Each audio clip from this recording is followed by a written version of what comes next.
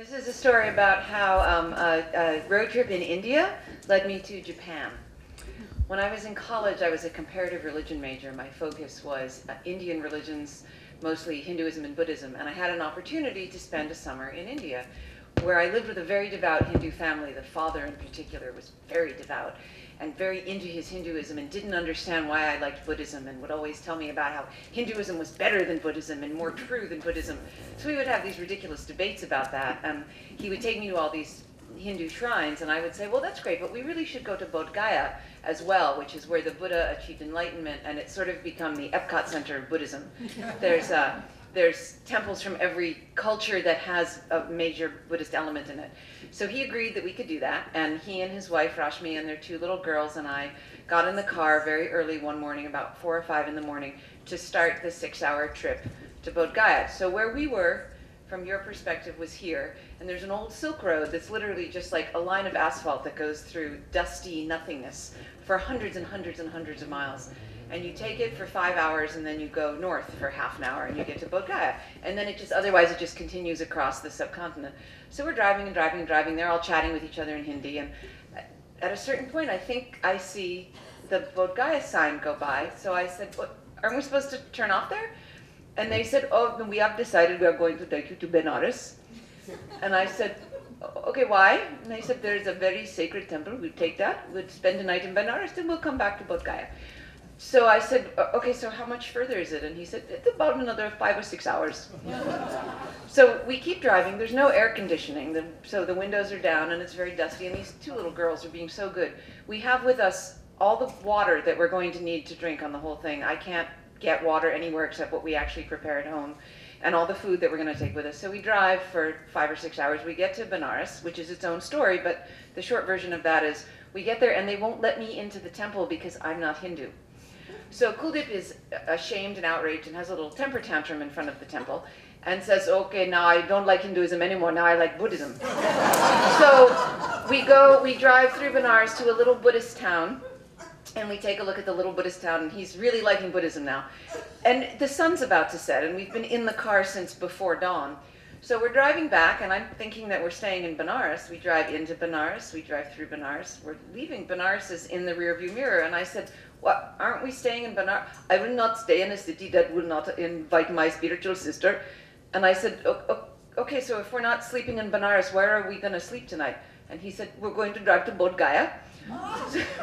so we, another five or six hours on the road, windows down. We've run out of water. We've run out of food. These poor little girls have been so angelic and oh, that was the first one. So we get there, there's no room at the inn because everyone's in Bodh Gaya this month. There's one little hostel that's a student hostel, school's out, so it's totally closed down. The groundskeeper takes pity on us and allows us to stay in this one bedroom without where there's no sheets, there's no mosquito netting, there's no running water, there's no working bathrooms. It's really miserable. We sleep for a few hours, wake up, it's a pretty miserable day. We get to Bodh Gaya, which is fantastic, but we're all kind of wandering around in a daze.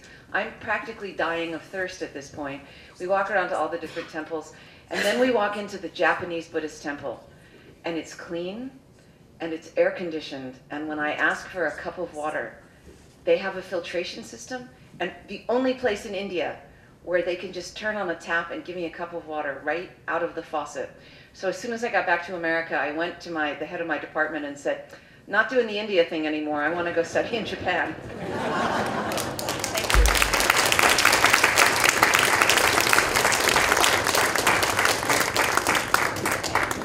Um, several years ago, I decided I wanted to go to Paris because it was a lifelong dream. I didn't have any money, but I did have a credit card. I didn't know anybody there. Um, I couldn't speak French, but just a little bit. And um, so naturally, that was my key to get my airplane ticket and take off. And uh, the first day I was there, um, got in, spoke a little bit of French to people, found my hotel, checked in, and went out for um, for a walk around the area where I was, which was Montparnasse. And one of the things I really like to do is take pictures of cemeteries, you know, the funeral art in cemeteries. So I found Montparnasse Cemetery, which is pretty amazing, and I was there for ages just taking pictures of this one and that one. and the, it's in two parts. The second part, the old part, is surrounded by a high rock wall. And um, I decided to go in there, and I got totally wrapped up in what I was doing. I didn't notice the time. I didn't, and I continued taking pictures until suddenly I realized that the place was closed. The gate had been closed and locked. It was too high to climb, and the gate was, it's solid. You know, it's not just bars, it's solid. So I thought, what the hell, I can sleep, but you know, it's nice weather. I can sleep on a grave, nobody's gonna bother me, it's nice and safe here. Um, shortly thereafter, a guard came up and she said to me, I don't know how she knew I was American, but um, she said to me, the cemetery is closed, the cemetery is closed. And I said, and I am inside. So um, she let me out. She actually shooed me out. I wasn't that eager to leave. Um, went and met a friend for dinner who had come over with me. And we went for a walk near the Sorbonne. And the first thing we did was run into a student demonstration which was terrific. I said, it's the 60s all over again. We got in the middle of it, and I had my camcorder with me, and I started shooting, and then people started playing to the camera. And uh, it was, you know, a good time was had by all.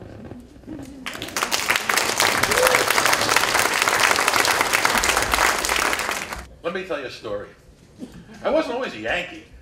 As a matter of fact, in the late 60s, I lived in another exotic location, not India, not Paris. I lived in Durham, North Carolina. Yes. And I was in North Durham, North Carolina, the night Martin Luther King was shot. And that was a very interesting evening because here I am, I'm looking out the window, and there are cars roaring by. They're on two wheels. Some of them are filled with black guys with shotguns. Some of them are filled with white guys with shotguns. I was an academic. I went out got a fire extinguisher. But anyway, I lived in Durham, North Carolina, and I moved up to Yankee Land. So let's fast forward to the 80s, mid 80s. And I find myself in New Orleans, Louisiana, down at a convention. And some of my colleagues, uh, the insurance commissioner of Nebraska, the executive vice president of a very large insurance company, another research economist, our buddy, who is a real Cajun, uh, financial guy, decide they want to go to Fred's Lounge in Little Mamou, which is about 175 miles up the bayou in the middle of nowhere. Well, with these guys, I'm always the designated driver because I want to arrive alive because these guys are always completely blasted. So we drive 175 miles up the river. We get to Little Mamou to uh, Fred's Lounge, from which they, from where they broadcast the Cajun radio hour every Saturday morning and it's great. The bartender, the bar wench, actually the bar grandma, runs around passing out boudin sausage. Everybody's drinking real cheap beer. And, you know, it's at 9 o'clock in the morning. Uh, they have a terrific band, and every once in a while they start broadcasting things. The only words that I recognize in the whole thing are uh, bedroom suite. It was obviously an ad for something. Okay, but we, we finish at Big, pardon me, at Little Mamou, and the Cajun says, I know this place for lunch fantastic place. So, okay, jump in the car, we all pile in, and we drive. Now, the roads are getting narrower and narrower. The Spanish moss is hanging lower and lower. The road is getting bumpier and bumpier. And as we wiggle our way down through the swamp, we get to this village the cars are all rusty at, up on blocks. The barefoot children are playing in the dirt. The one-eyed dogs are wandering around. And there is this restaurant down at the end. Well, that's cool. All right, so we walk into the restaurant. But this also the point. We walk into the restaurant, sit down, and the owner is there. The owner is this little scrawny guy.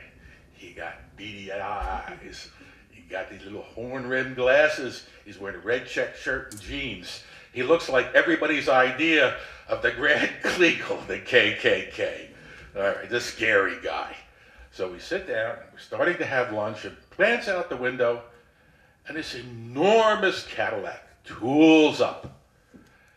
And this very large black guy gets out, and his wife gets out dressed, honest to God, like Aunt Jemima, and the two of them come up to the door.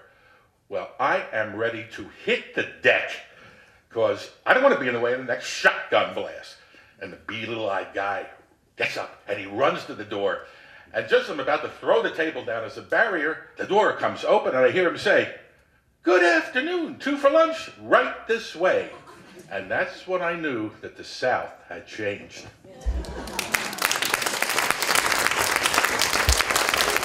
When I was, uh, when I was in uh, college, one summer, my roommate and I uh, went backpacking and hitchhiking in uh, Europe. And uh, after a, a few weeks on the continent, we headed for Ireland, and the plan was to hitchhike as quickly across England and Wales, the Holyhead, to get the boat to Dunleary, and, and then we would take our time coming back and see England and Wales at that time. Uh, and, and everything went fine. We got right around London, got good rides and everything. And as soon as we got to Wales, everything just went into slow motion, and we couldn't get rides. So we got very short rides. And people are driving by and shouting obscenities at us, giving us the finger and stuff like that. And it was a little disconcerting. And uh, uh, our second night in Wales, we're in a little town, uh, a little fish and chips, and just getting something to eat about 7:30 at night. Uh, figuring we're going to walk out of town a little bit and find a quiet place and roll out the sleeping bags.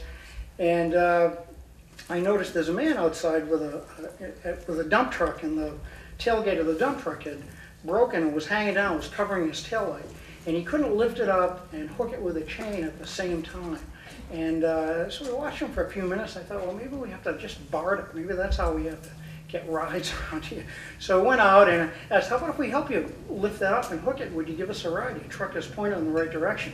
He really didn't want to do it, but uh, I said, okay. So, uh, so we helped him do that, and uh, we went to get in the truck. He said, no, no, it- there. So we had to ride in the dump, actually, but uh, it, there wasn't anything in it. It was empty, and he hadn't been hauling north, so it was okay. And, uh, and it was a great ride. We went for miles, and went through a whole number of towns.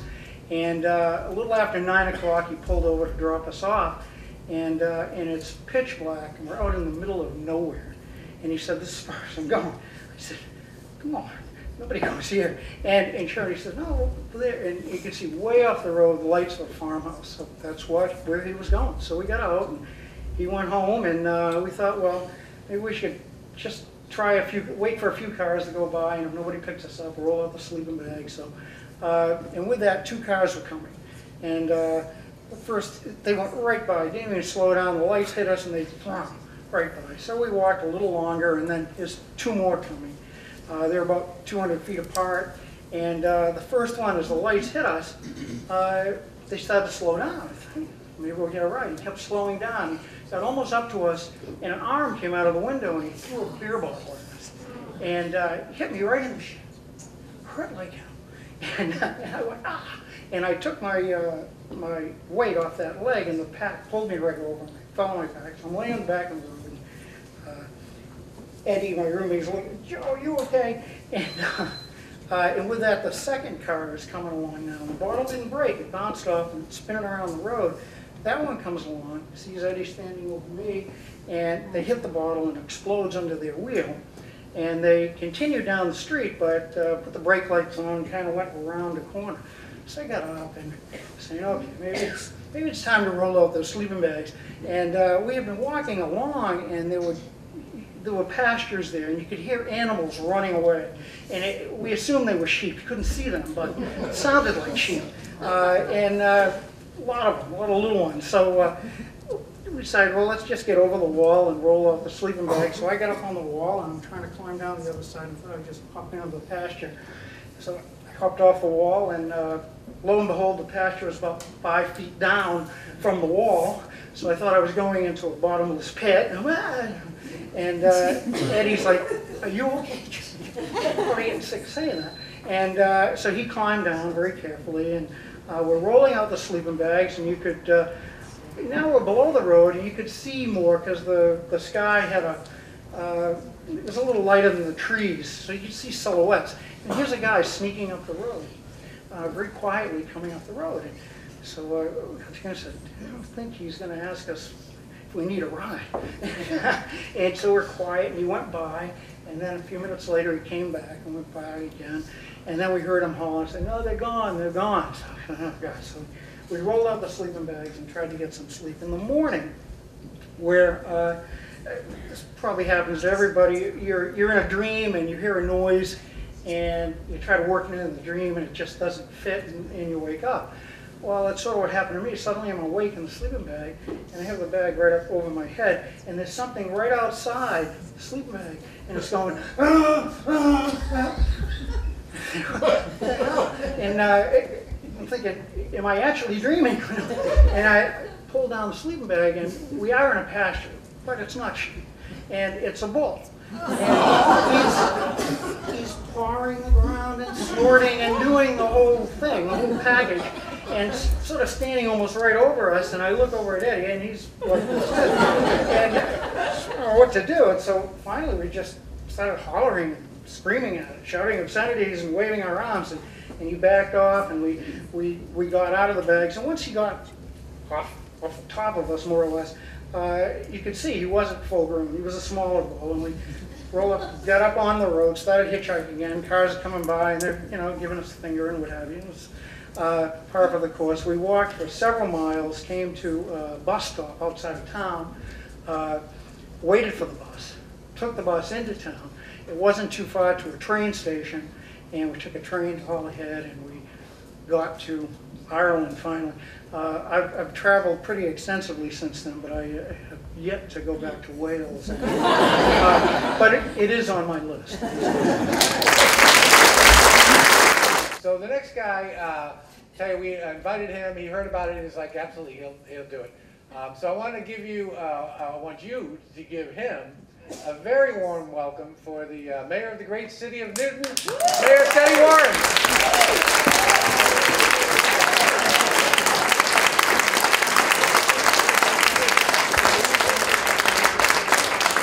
Hi, good evening. This is the scariest, most intimidating thing I think I've ever done in my entire political life. Um, okay, do I begin? Jared, start. I heard about some bells and some other things. I'm a little scared about that. Um, so, I have a very brief story to share with you. Um, it's the story about um, a young woman that I went to college with named Maura DeVito. Uh, she and I uh, were at Boston College together. Uh, we didn't really know each other all that well, but we got to know each other when she moved uh, to my street on Beaumont Avenue in Newton uh, with her husband Jason. Uh, they moved to our street about six years ago, and they had a daughter the first year that they moved to Beaumont Avenue named Ellie.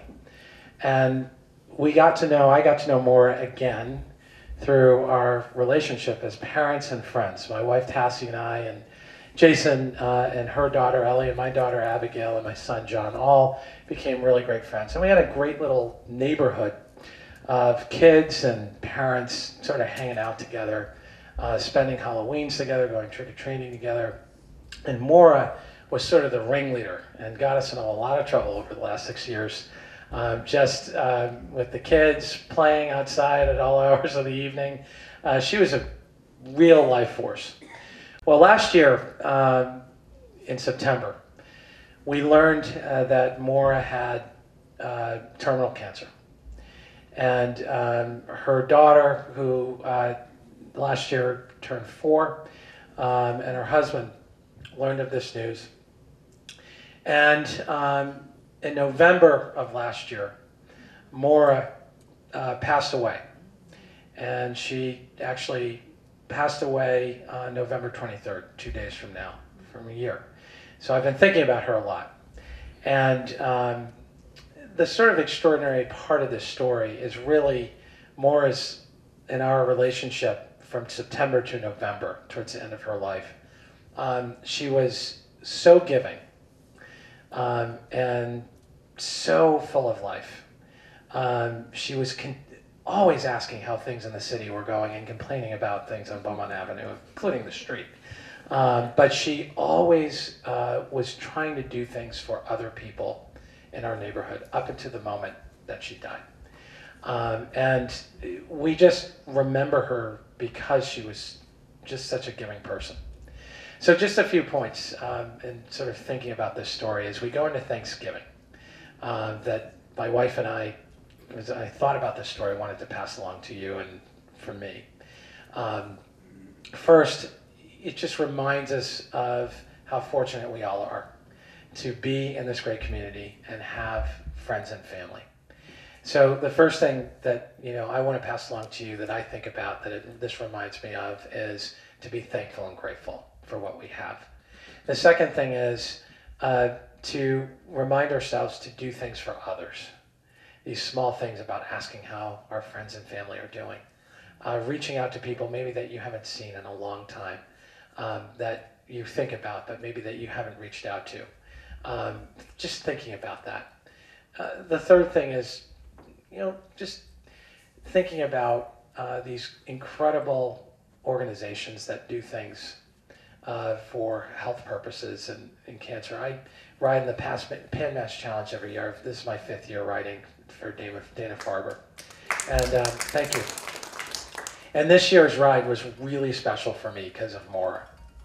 Uh, so the third thing I would say is just when you think about when you see these charities and you see these you know organizations like Dana Farber, think about doing something for them.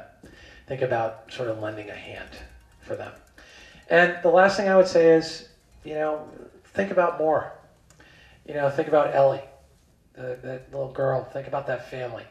Uh, think about um, particularly Maura's spirit and how you can sort of be captured by that, you know, towards the end of her life. Um, her daughter's doing really well right now, by the way. She's at Cabot in kindergarten, and uh, we've all reached out to sort of help Jason and the family. Um, but, you know, think about how that Maura lived and think about um, how you can sort of take that spirit and pass it along to your friends and family. So uh, we should be thankful, we should be grateful. Uh, thanks for giving me the few minutes, um, and uh, it's great to be with you tonight. Enjoy. The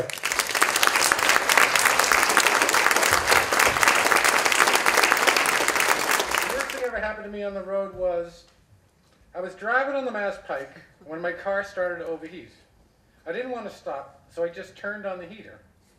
I had a, I got a trunk full of marijuana.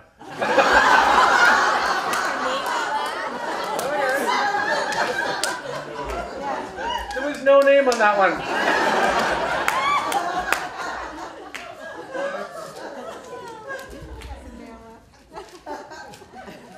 Worst thing that ever happened to me on the road was on a small Cessna plane in the Caribbean, Caribbean, window missing, saran wrap instead. then after we took off, the only pilot fell asleep. Fortunately, he woke up before landing. I'll do one more here. Worst thing that ever happened to me on the road was we were driving in Guatemala and got pulled over by a soldier carrying a gun. Oh no, we were scared. All he wanted was for us to give him a ride to his friend. Of course, we said yes. so, you know, all of these, you can all, whoever wrote these, come on back and tell us the whole story next time. These are all great stories. Um, so when I was 18, um, I saved money up and with my best friend bought my first car. And that was a 1972 Chevy Beauville. It was big. It was a big van, extendo van. And we took out all the seats and we put bookshelves in and we put a futon in the back. and we got two more of our best friends and we headed out to discover America. Um, we cut all of our hair off first, so we were three freaky women and a Puerto Rican. and so for that reason, we decided not to go south and to go west. And we did that, and we went west, and we would uh, just pull over and camp. We didn't go to campsites. We were spending all of our money on gas because the Chevy got nine miles to the gallon. And uh, so we would just kind of pull over in places and, you know, and sleep in the van. Um, and we were in the middle, we were driving on a mountain. I don't know what state we were in. We were, we were way out, we were kind of looking for a campsite. And we were way, way out, and there was nothing but mountain and trees and stream, and we pulled off. And it was a beautiful, beautiful spot, and we, um, we decided to have a picnic there and possibly camp there. And we just pulled off the road and we started making our lunch. And we were there for a while, and um, there was definitely some weed smoked, and there might have been some drugs consumed. And we were there, we were sitting around the van, there's nothing but trees, and we're all thinking, what if the Buddha should come walking out of the woods right now? What would the Buddha say to us? And we're all thinking, and what, like, what would you do if the Buddha came out of the woods right now? And, and how would we know it was the Buddha? And we're all sitting around and we're talking about this. And, like, you know, uh, Miguel's like, um, is, is there someone over there? And he was the jokester, so we we're like, yeah, Buddha's coming. And this guy walked out of the woods. We're like five miles from anything. And this guy comes walking out of the woods. And so the Buddha um, wears um, knee-high like rubber boots and um, like canvas work pants and a plaid shirt and a cap and he carries a, a fishing pole apparently and he, he came up and he looked at us and we were just like what's he gonna say and he were looking at him and he said you stuck we said oh no we're, we're having a picnic and uh, he's like, Well, did you try getting back on the road? We're like, um, no, no, it's we just pulled off. We're not stuck at all. We just we're having a picnic and maybe we're gonna camp here. And he's like, why don't you try? we're like, you know, okay. Like one of us gets in the car and uh, we we you know start to and the, it's mud. We are literally ten feet off the road. We are not moving. The wheels are just spent. Nothing. Nothing. He's like, I'll, I'll be back. And he leaves. And a half an hour later, he comes back with a, a, a giant a truck and um, a winch. And he strap he straps a winch to a, a giant tree across the street, and the chain goes down, and the chain attaches to the frame. And uh, one of us, the smallest one, who was Max, got to drive, and the other three got to be, you know, with the shoulder against the back of the van um, and covered with mud. And she's driving and he's winching. And this was an hour and a half. Took us an hour and a half to pull the van out. Um, if he had not come, we would the van would still be there um, in the woods, nowhere. Um, so he spent an hour and a half um, winching our car out back onto the road, and I'm sure he went home and was like, "Yeah, I spent two hours like you know dragging three freaky women and a Puerto Rican out of the woods."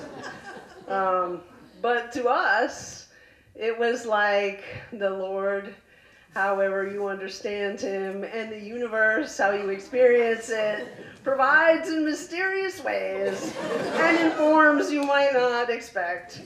Um, and so when the Buddha comes out of the woods, when you meet the Buddha off the path, do whatever he tells you to. First time in a long time I've walked up to a mic and someone's cheered. So but thank you, Jerry, for having me. How many people here got an email from Jerry saying that you are the number one storyteller I hear.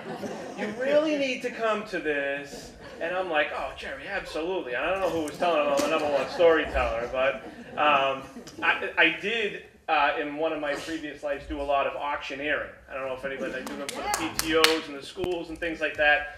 So I'm going to auction off some rugs. I don't know if Scott knows how to do that, but uh, I, I, when you said storyteller, I said he must think I'm thinking about the auctioneering, to be honest with you. Um, so I was trying to think of a story to tell. So I was jotting down some notes about different stories that I had, and four or five of them I definitely could not tell. Um, and I decided on this one. So there was this one time, I'm sure a lot of you know that the mayor and I, I call him Setti, the mayor and I went to high school together. We graduated high school together. So there was this one time that Setti and I were in Las Vegas. I'm not going to tell you that story. I'm just kidding. So, um, the story that I wanted to tell, so I'm trying to think about a story.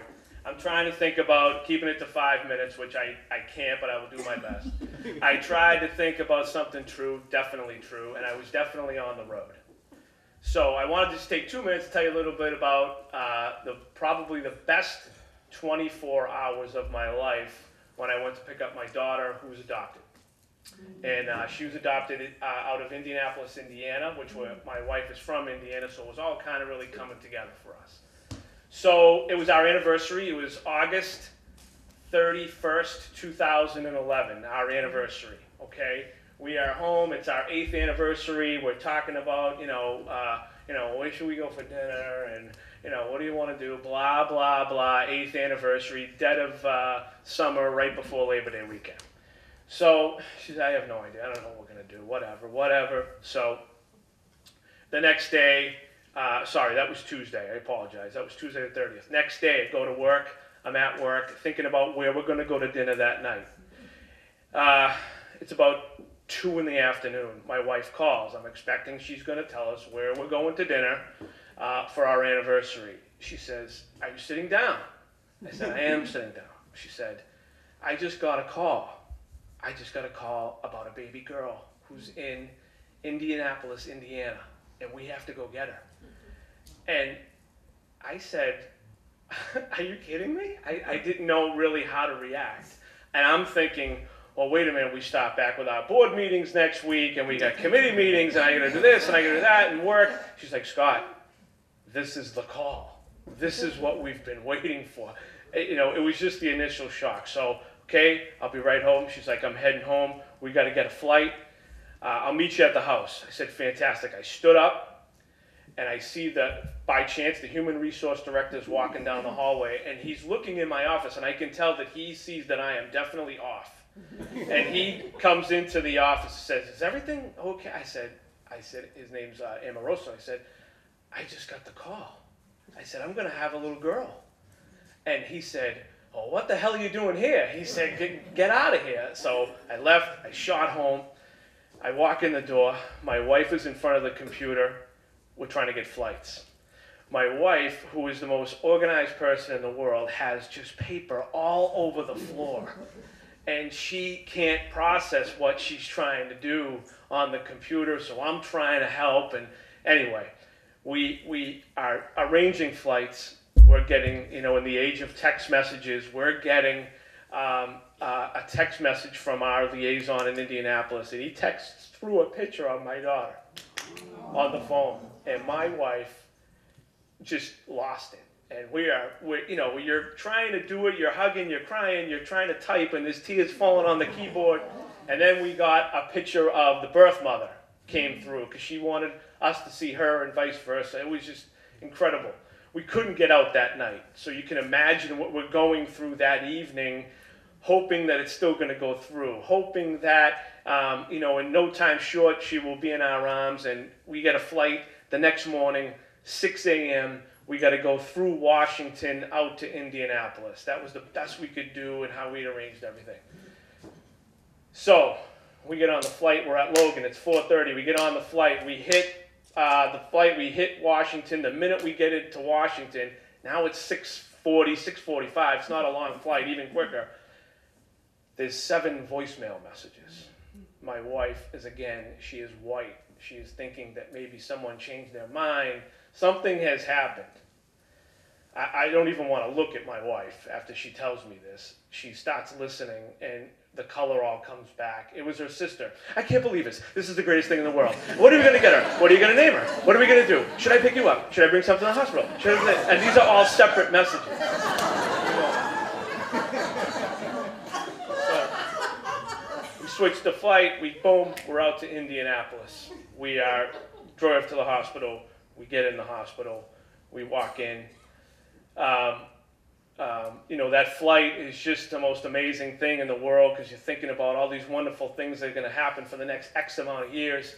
We get into the hospital. We get met. We go upstairs, and folks, I got to tell you, if, if, if you haven't been through this, or you don't have someone that's been through this, it's just the most amazing feeling in the world knowing you're going to walk in this room and your life is changing forever. Your life is changing as you as you walk into this room and you know you pull this curtain back and there's a woman standing there and I'll never forget this as long as I live.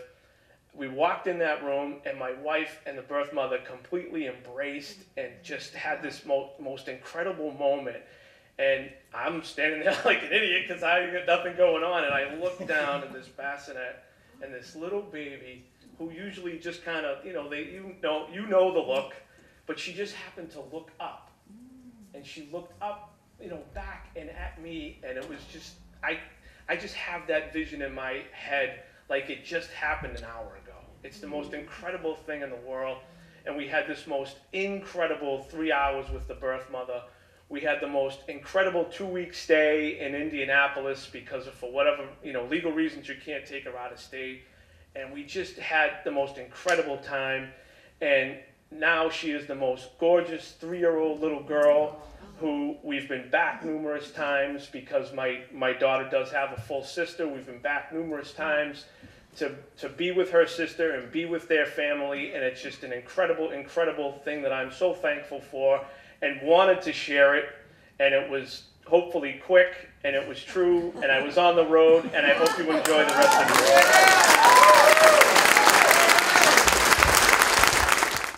Hi everyone, that was a very beautiful story. I have a terrible story.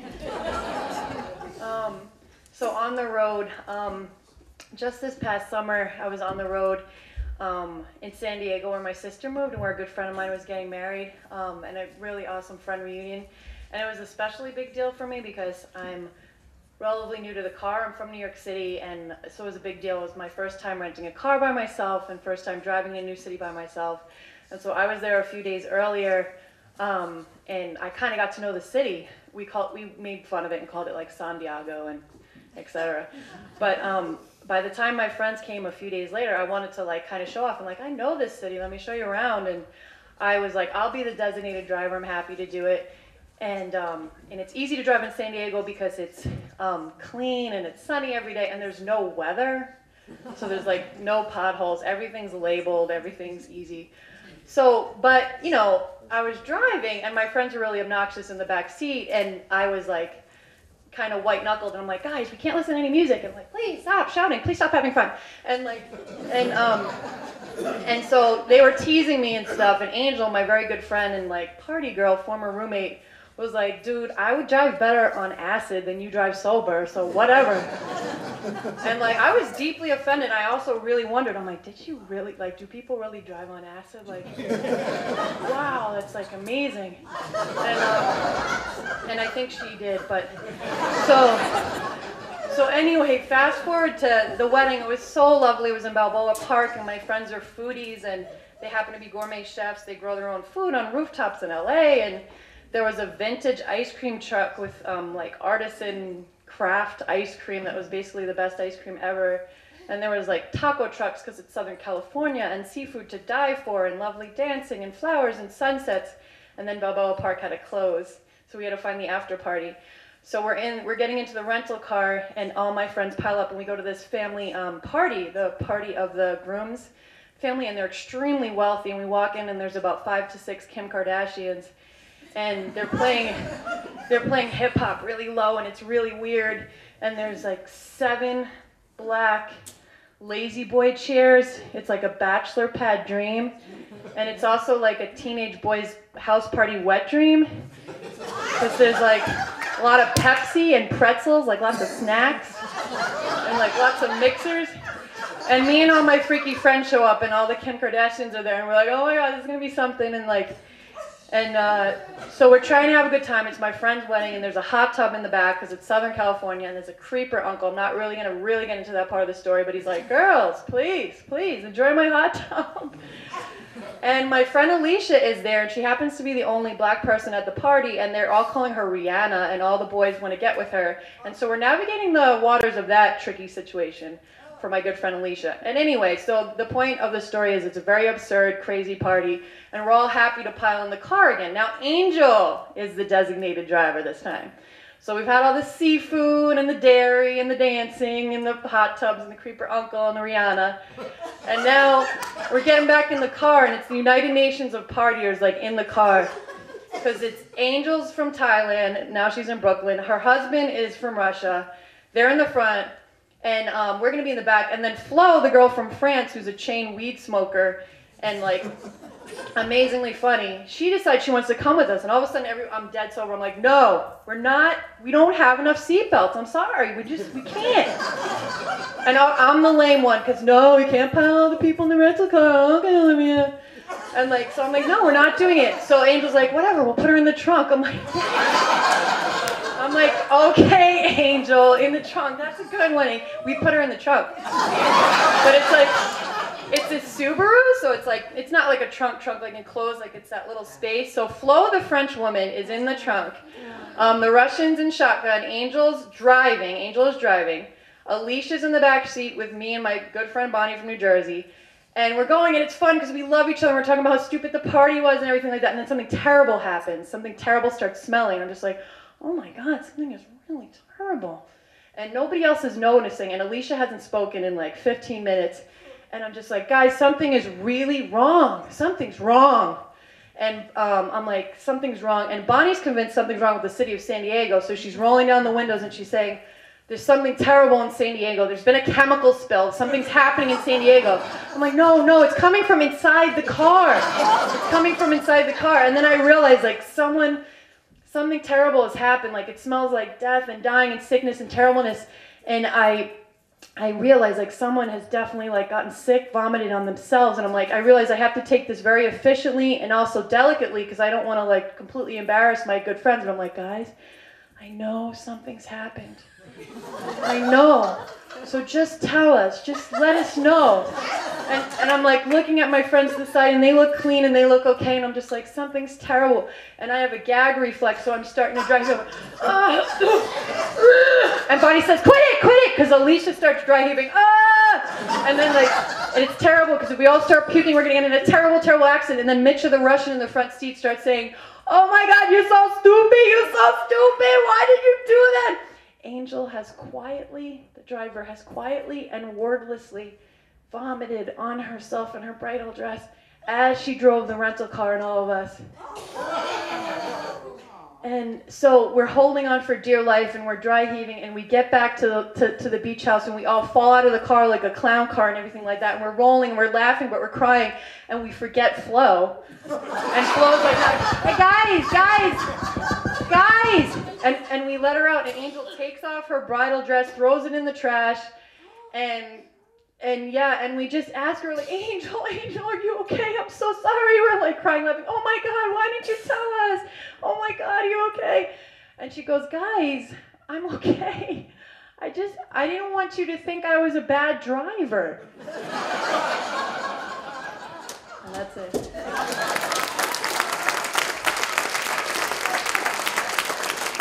Anyway, one of the things I wanted to tell is a story about um, when I was on the road. It was in uh, 2009 with my husband, and um, it kind of had some twists and turns. So we actually found ourselves over in um, in Cambodia and Siem Reap, and I don't know how many of you have seen Tomb Raider. Um, but Tomb Raider is an Angel- Angelina Jolie movie, and it was one of those places, a temple, where all the trees are growing up literally through the temple and through the walls. And so we started just taking pictures. Oh, you look like just like Angelina Jolie. And it was one of those really fun things that we ended up doing. And we actually felt a little bit like that. So that's sort of the theme of the story.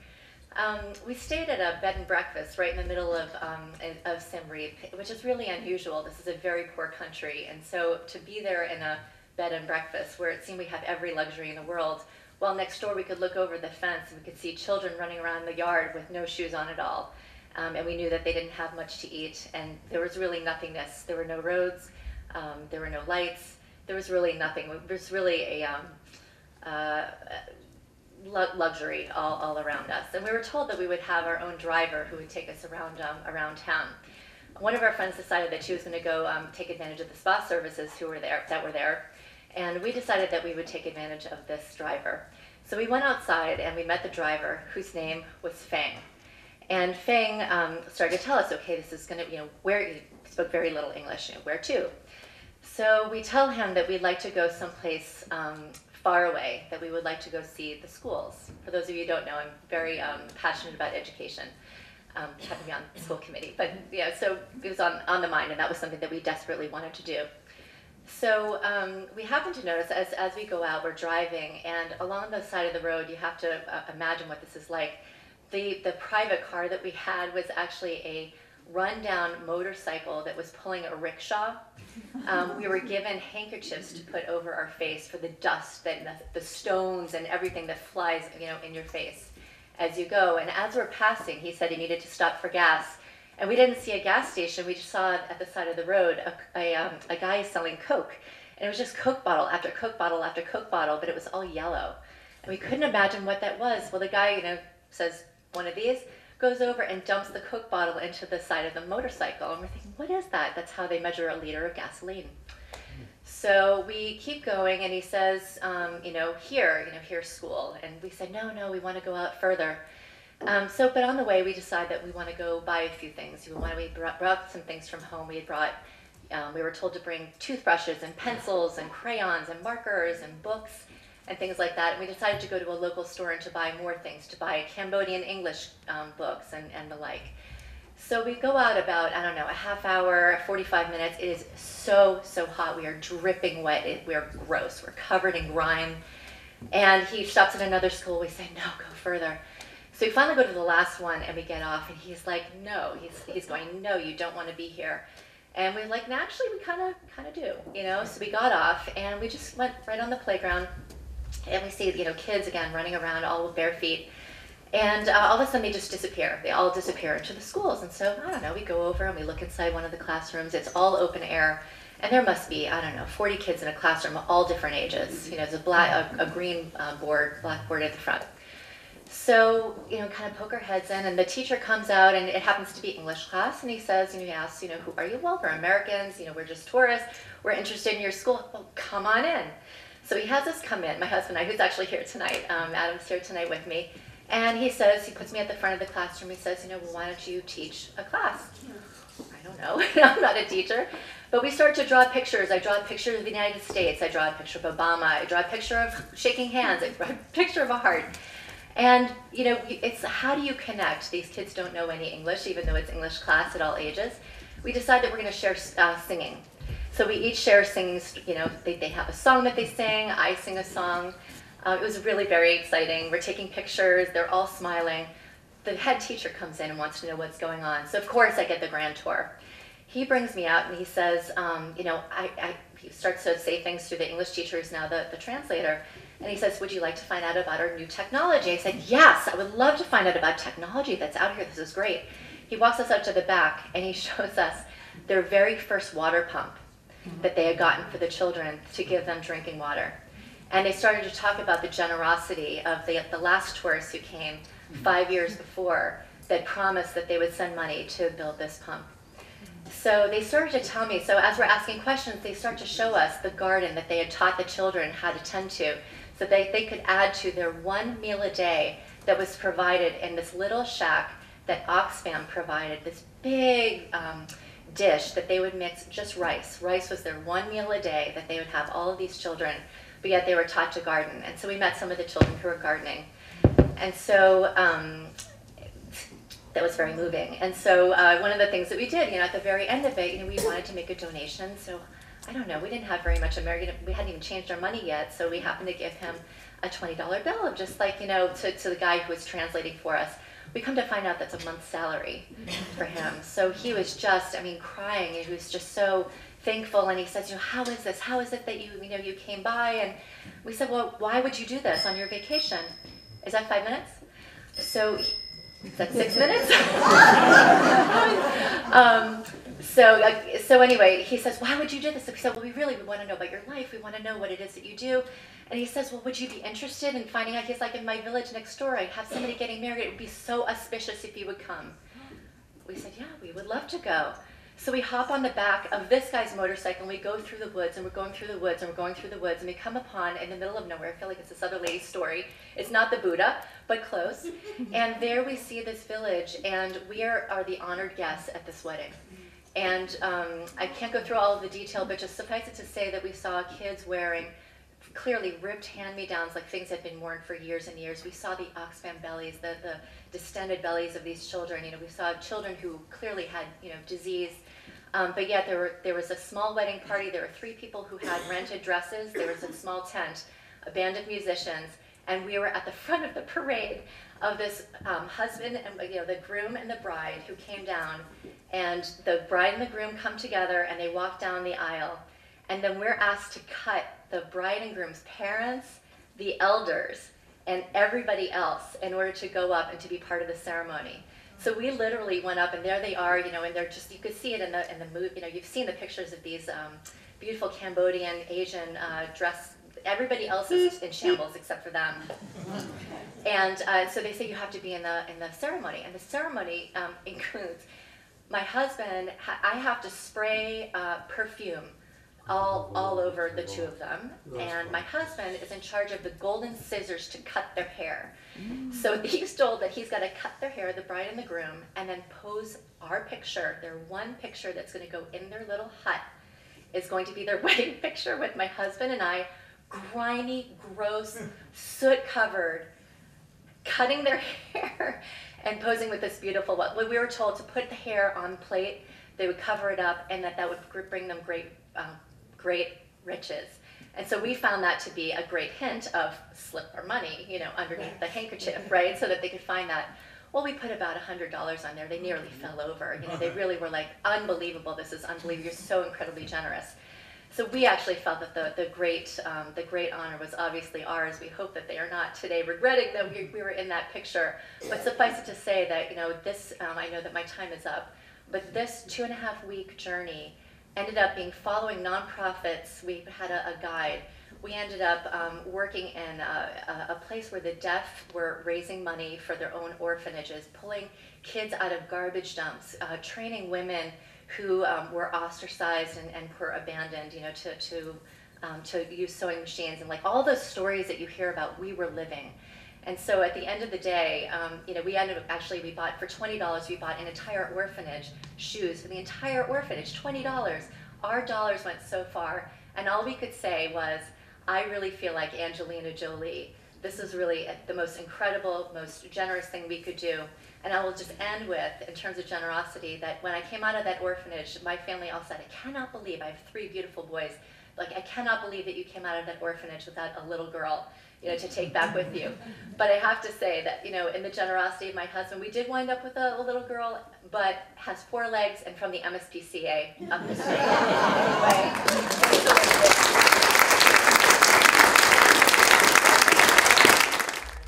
So I grew up on a small island about 100 miles wide and 35 miles 100 miles long, 35 miles wide. Uh, the tourism board will have you think that it's a continent, but it really isn't. so, needless to say, I, my childhood, I spent a lot of time in the car, but it's not that I got very far. But somehow, even at that early age, I thought I had this longing for the thrill of the open road, whatever that was. So, um, but I found out that I had two big strikes against me, one of which was my, my geographic limitations, and the second of, uh, of which was my um, overprotective parents. Um, so, on the one hand, terrible gridlock, nasty drivers, and if you got out of the city, country roads that made me puke. And on the other hand, ay bendito cuidado, bájate de ahí, Dios mío, roughly translates as overprotective parents. So, um, rather than the thrill of the open road, when I was a child, I, I could at least uh, have the thrill of the open sidewalk of my cul-de-sac. So I took up roller skating. And on my 12th birthday, my loving, loving parents gave me the present I will never forget a pair of gleaming white leather roller skates with um, silver, sparkly silver wheels with the silver stripe up the side. It was amazing. I couldn't believe my luck. And then the second box had uh, a helmet and matching elbow, shoulder, and um, knee pads. And Excuse me, who wore protective equipment in 1982? My life was over. It was terrible. It was terrible. So, so that very day, I realized that I would never, at least as a teenager or high schooler, have my own car. So at 16, I got my drive, my learner's permit, but I didn't bother with my license. I became one of those people, the queen of bumming rides off my friends, as long as it was, you know, within a three-mile radius of my house, and then I could call my parents whenever I got there, wherever there was. Were protective parents. Um, so, uh, fast forward to my graduation from college, my college graduation. I'm now in New Jersey, and my parents. Uh, uh, I'm, I'm thrilled that they're helping me buy my first car. I got my driver's license, and they're helping me buy my first car, Mazda 626. Really, really great.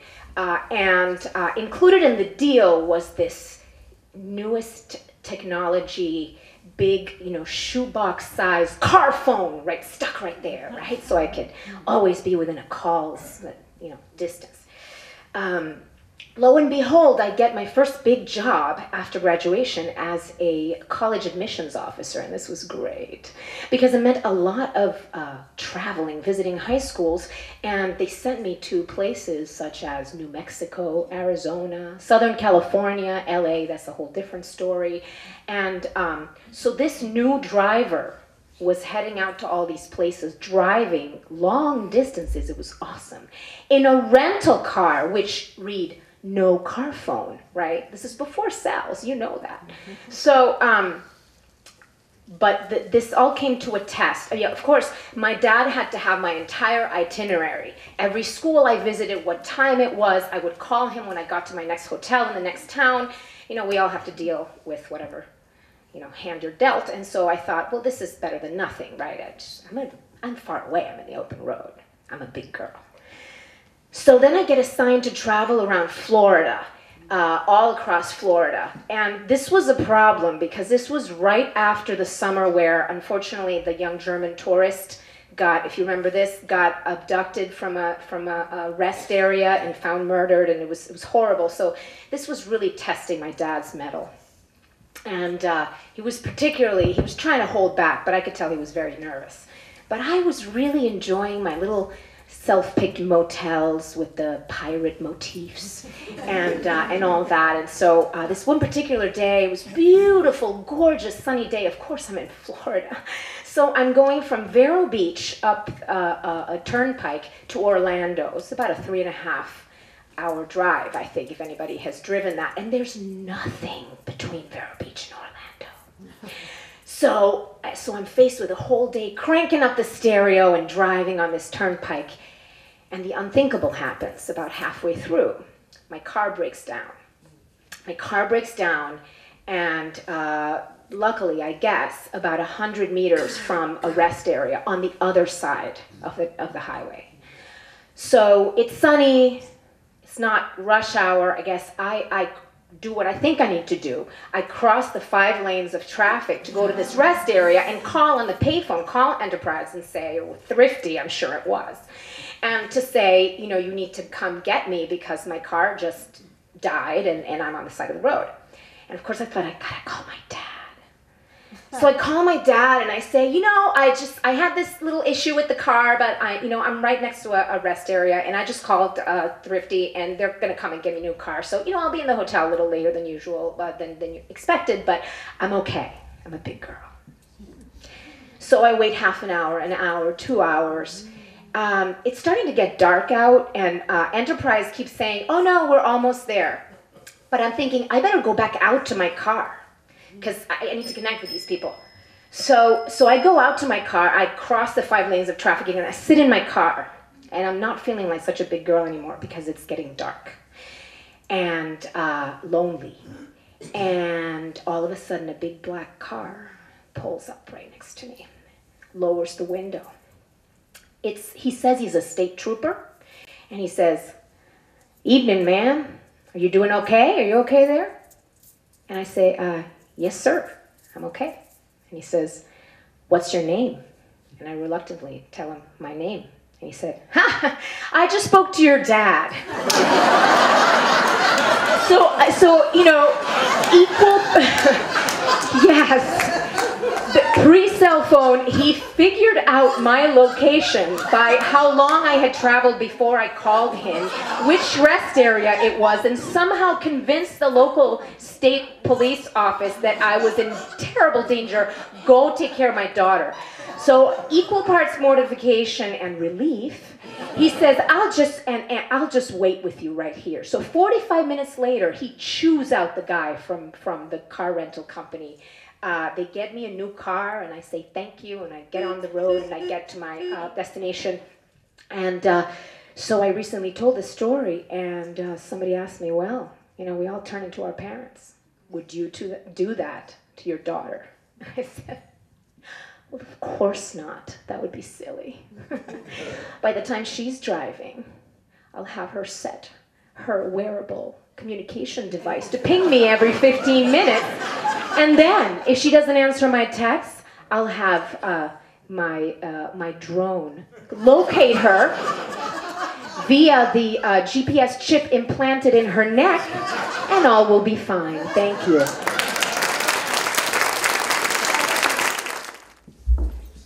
Oh my god, there's some punked, colored haired teenagers who are coming to ruin our sanctity of storytelling. I like to get in touch with my audience a bit. Uh, jokes aside, I don't leave my house often unless I have a reason, you know? I'm overloaded with homework, sleep deprivation, but I spend a lot of time on my internet my internet. I'm not very good with words at the moment, clearly. Um, but I spend a lot of time on the internet, and I got into recently watching live streams of video games, and I watch these till like the sun comes back up, and I fall asleep with my tablet on with the stream playing. It's like my little lullaby almost from when I was like two years old, only it's often profanity screaming and men with beards. God help me. Um, but I'm 17, almost 18.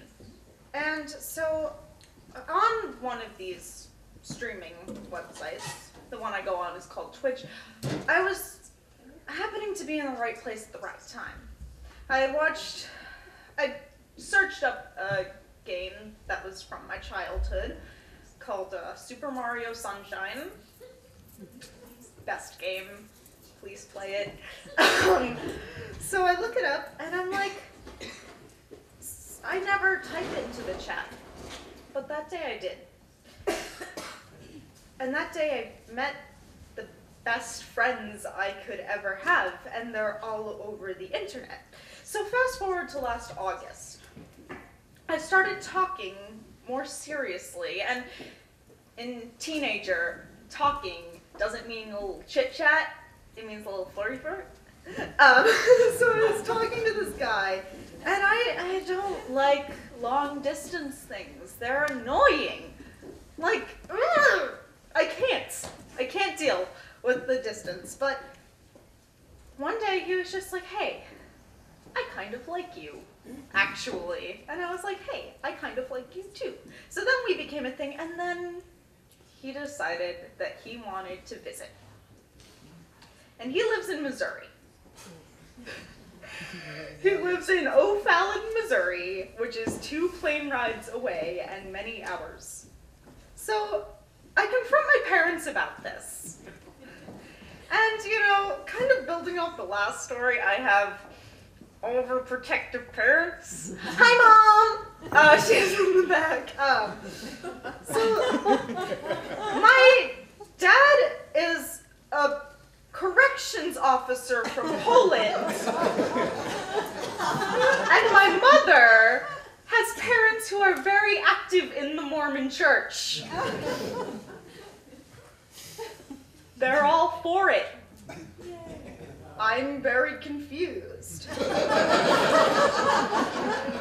he and his mom, his name's Devin, his mom's Tanya, they fly out here from O'Fallon, Missouri, and oh my god, that was, and this is last week, by the way. Um, so we're like, oh my god, this is amazing. Well, you traveled all the way here, not for colleges, for me. And of course, my dad, being big, buff corrections officer from Poland with the Dorchester accent. we're sitting the last night he's here. By the way, this boy and his mom were here for 36 hours only for me. This little shut in with the colored hair and the freaky and the unconventional and the oh my. So he was here for 36 hours for me. And so the last night he's there, we're sitting in Dunn-Gaherin's, which, if you're from Newton, which I suspect most of you are, you probably know or have heard of, especially since Jerry mentioned it in the beginning, you know. So we're sitting in Dunn-Gaherin's, and Shauna comes over to us, and we've known Shauna, the owner of Dunn-Gaherin's, forever. I have known her since I was like a baby practically. My parents have been going to Dunn's for years. Shauna sees us. She's like, "Oh, Ashley, oh, family, woohoo!" Um, and so my dad looks at Shauna, my big buff corrections officer father with the Dorchester ac- the Dorchester accent, and he says, "Shauna, Shauna, this is Devin. Devin is my daughter's boyfriend from O'Fallon, Missouri. And he is here for 36 hours to visit my daughter. So, of course, then Shauna gets all her waiters over here and they're like poking at the poor boy like he's some kind of science experiment, but he's loving every minute of it. My dad's just standing there like. well, and so I guess the moral of this story is my dad has had a few choice words to describe my other ex-boyfriends, such as worm, scumbag, you know. And then here he is, the last night he's here, he's saying, Devin, you can come back anytime you want and our couch is open. So that's my story. And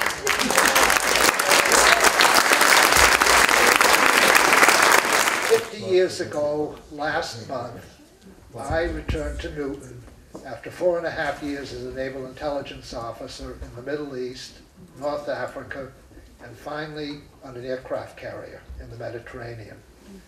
I went to the aircraft carrier. I was supposed to be a squadron intelligence officer. And I, this was the aircraft carrier Franklin D. Roosevelt, which was about 24 years old at the time. It was a bucket of bolts. And, uh, but I was only going to be one squadron intelligence officer. I got to the ship in the Mediterranean, and I was informed by the operations officer that I was going to be the ship's intelligence officer because the, uh, the one that was on the ship had gotten sick.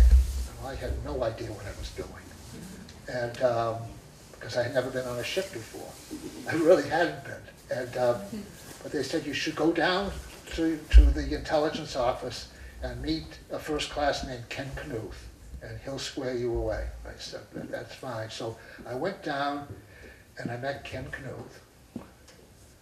And I said to Ken Knuth very honestly, I said, I have absolutely no idea about what I'm doing here. And Knuth said, nobody on this ship has an but, but he said, you know it, so you're going to be all right. and, and- and he said to me, we, we bonded right away. You know, officers and enlisted people are not supposed to but we, we were very simpatico right from the beginning. He was, he was great. And um, again, as I said, we had a ship that was supposed to do 30 knots an hour. If it got over 23, it just rattled and shaked, and they had old airplanes on it and everything like that. About this time, the aircraft carrier Enterprise, which was a, America's first nuclear submarine, nuclear aircraft carrier, came into the Mediterranean. And it was on the beginning of a worldwide tour. It would cruise, it would show that a, a ship, nuclear ship, could sail around the world without refueling. It was the idol, it was the, it was the Navy's pride and joy. And everything was geared to make it look as good as possible. So it had the most modern radar equipment. It was computer, entirely computer run. And um, um, we, we uh, so, so, but the powers that be, powers that be said we were going to have a joint exercise to see which aircraft from which ship could fly over the other one, elude the other ship and fly over it. That was the idea of the exercise. We supposedly did not have a chance. Um, and everything was supposedly stacked against us, and um, we didn't, but, but the second day, Ken, Ken Knuth came to me and said, Mr. Burke, he said, I've got an idea. Ken Knuth had been an avid reader of ancient Greek, Roman history. He said, we can put this damn ship into a harbor where I know that the radar from the other ship can't see us. And I said, yeah, okay. He said, I know because he said, I've done all the work on this over the last year. I've been, I've been doing this. We can put the Roosevelt right in that thing. Which, and we said, well, the, the powers that be will never buy off on that. But I said, I'll, I'll back you up. So we, we finally got up. We, the operations officer said, no way. But we finally got up to see the captain. The captain said, I like it. I like it. He was a cowboy, kind of a cowboy, a great guy. So what happened was we we, we, over the next few days, we developed the plan. And uh, we got it, and our idea, our idea was this. We would sail the thing into this harbor at, at, at, just, be, just as the exercise was, was starting. We knew their radar wouldn't be over that area. We snuck in there, turned the boat around the harbor, and there it was. And we had total blackout on the ship. Nobody moved. Nobody moved. And, uh, and we just stood there, and about half an hour later, we could hear the Enterprise planes flying all over the place. They kept going. And we got the first break, they launched every freaking plane they had. That's what we wanted to have happen. And, and, and we, we were just like this and, and, and everything seemed to be going good. And then suddenly on the hillside, the little Greek village houses, the lights started coming on because they could see us down there. And the thing we said, oh my God, we're going to get screwed. Oh. But, but, but, but what happened, we didn't. We didn't. They flew over, they kept flying over. And at the last minute, they started, they had to go back because they were out of fuel. and when they were out of fuel, the captain came over and said, why, get this, around, turned the ship around, and launched the planes. And there was this admiral who was always on this ship. He was a pompous ass, and everybody disliked him. And he had the congressmen on the thing to show them the beautiful ship. He had the contractors and everything. And he was always strutting around the thing. And, and, uh, and, uh, and uh, just as it did, planes roared over the Enterprise, and all of our planes got launched. And the real crushing blow for that other side was we had we were the only ship that still had propeller planes, and the propeller planes stayed over the lake, and all of them were there. And we we we, we did this, and uh, uh, uh, and we did it. And Ken Knuth, because he knew Greek history, and he knew he knew this thing, he he was able to outmaneuver all this stuff. The powers that be embargoed that whole thing. They made it classified. and, and, and, and, the only last thing was, I recommended Kim for, for, for, for, for, for a big award, which he got, and I said, and he said, well, you should get it too. And I said, no. I said, I had absolutely nothing to do with this. And the compliment he gave me was this, he said, my other two bosses I had would never have done what you did. You had faith in me. I said, well, I guess that's half the battle. Thanks a lot. Okay, so this is a story. It was a long time ago. Um, it was an ACDC concert. It was in the uh, venue formerly known as the Worcester Centrum. And it was going to go like this. My brother at the time was uh, in school in Worcester. He was going to Worcester Polytech. And we were going to go out there, my friend Gary and I were going to go out there. And he was going to, we were going to go and have dinner with him, and he was going to take us down to the Centrum so that we would know the way back. So we're going to go down to the Centrum. Uh, we're going to go down to the Centrum. He's going to walk us back so we know the way back. We walk out. He says, you go down, this, down the hill to the Pizza by Notice, take a left to the Centrum. come out of the Centrum, take a right, pizza by notice, take a right. We do this about 100 times. My older brother does not want to be the one losing his younger brother, right? He doesn't, he doesn't want to be responsible for that. So eventually we go to the concert, right? We have dinner, we go down to the concert. Uh, needless to say, I don't remember any of the concert. I remember the directions. Come out of the Centrum, take a right, go up the hill, pizza by notice, take a right. Apparently, we didn't factor in the fact that buildings have more than one exit. and if you go out the wrong exit and take a right, you take a left. so there we are walking into deepest, darkest Worcester. And if you were ever in Worcester in the 80s, the whole city was like a neighborhood for a bus station. It was uh, sort of bombed out businesses. But we didn't care, right? So we're 14 year old boys, and we just went to an ACDC concert, and we're really excited. And we're, you know, we're, we're expositing about uh, Angus Young's fret speed and, you know, other guitarists with talent. We're talking about uh, ACDC vocalist Brian Johnson uh, and, and, former ACDC vocalist uh, Bon Scott, and talking about. Um, you know, the, the, the tragic martyrdom of rock persona who die choking on their own vomit.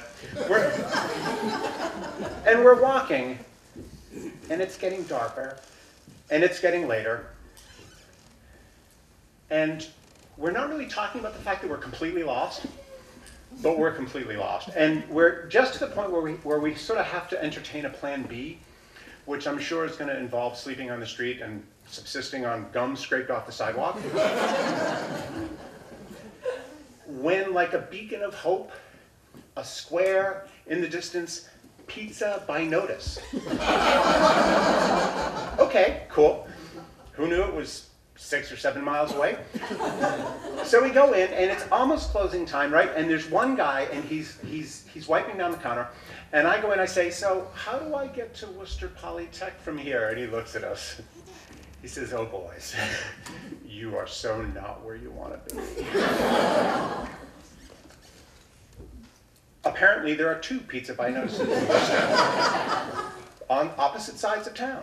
So he's wiping down the counter. He says, Okay, tell you what, I have a delivery sort of over there. I'll, I'll drive you. And, and, and why don't you sit down? Somebody ordered a pizza about an hour ago and they didn't pick it up. So here, here's a large pepperoni and, uh, and olive pizza that you can enjoy. And I'll drive you in about 10 minutes. And so, contrary to all parental advice, we eat this food provided by a stranger and we get in the car. It obviously it doesn't end tragically. I'm here. Um, but we find out how far away from Worcester Polytech we really are. You know, it's, it really is like a trek back, and we're like, where are you really taking us? Because at some point you realize, like, maybe this was not the car to get into. but he's, he drives us back to Worcester Polytech. And he pulls up behind the dorm, and, and at this point, we're falling over ourselves with gratitude. It's like, oh my God, how can we ever thank you? We would have died out there. You know, how can we?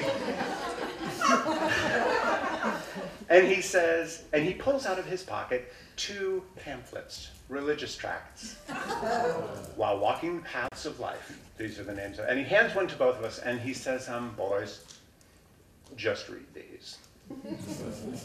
and we're like, okay, yeah, yeah, zip, gone. and the, but the punchline of the story I find is that my friend Gary, two years later, became born again. And I just expect complete strangers to do completely wonderful things for me, like drive me home. Thanks.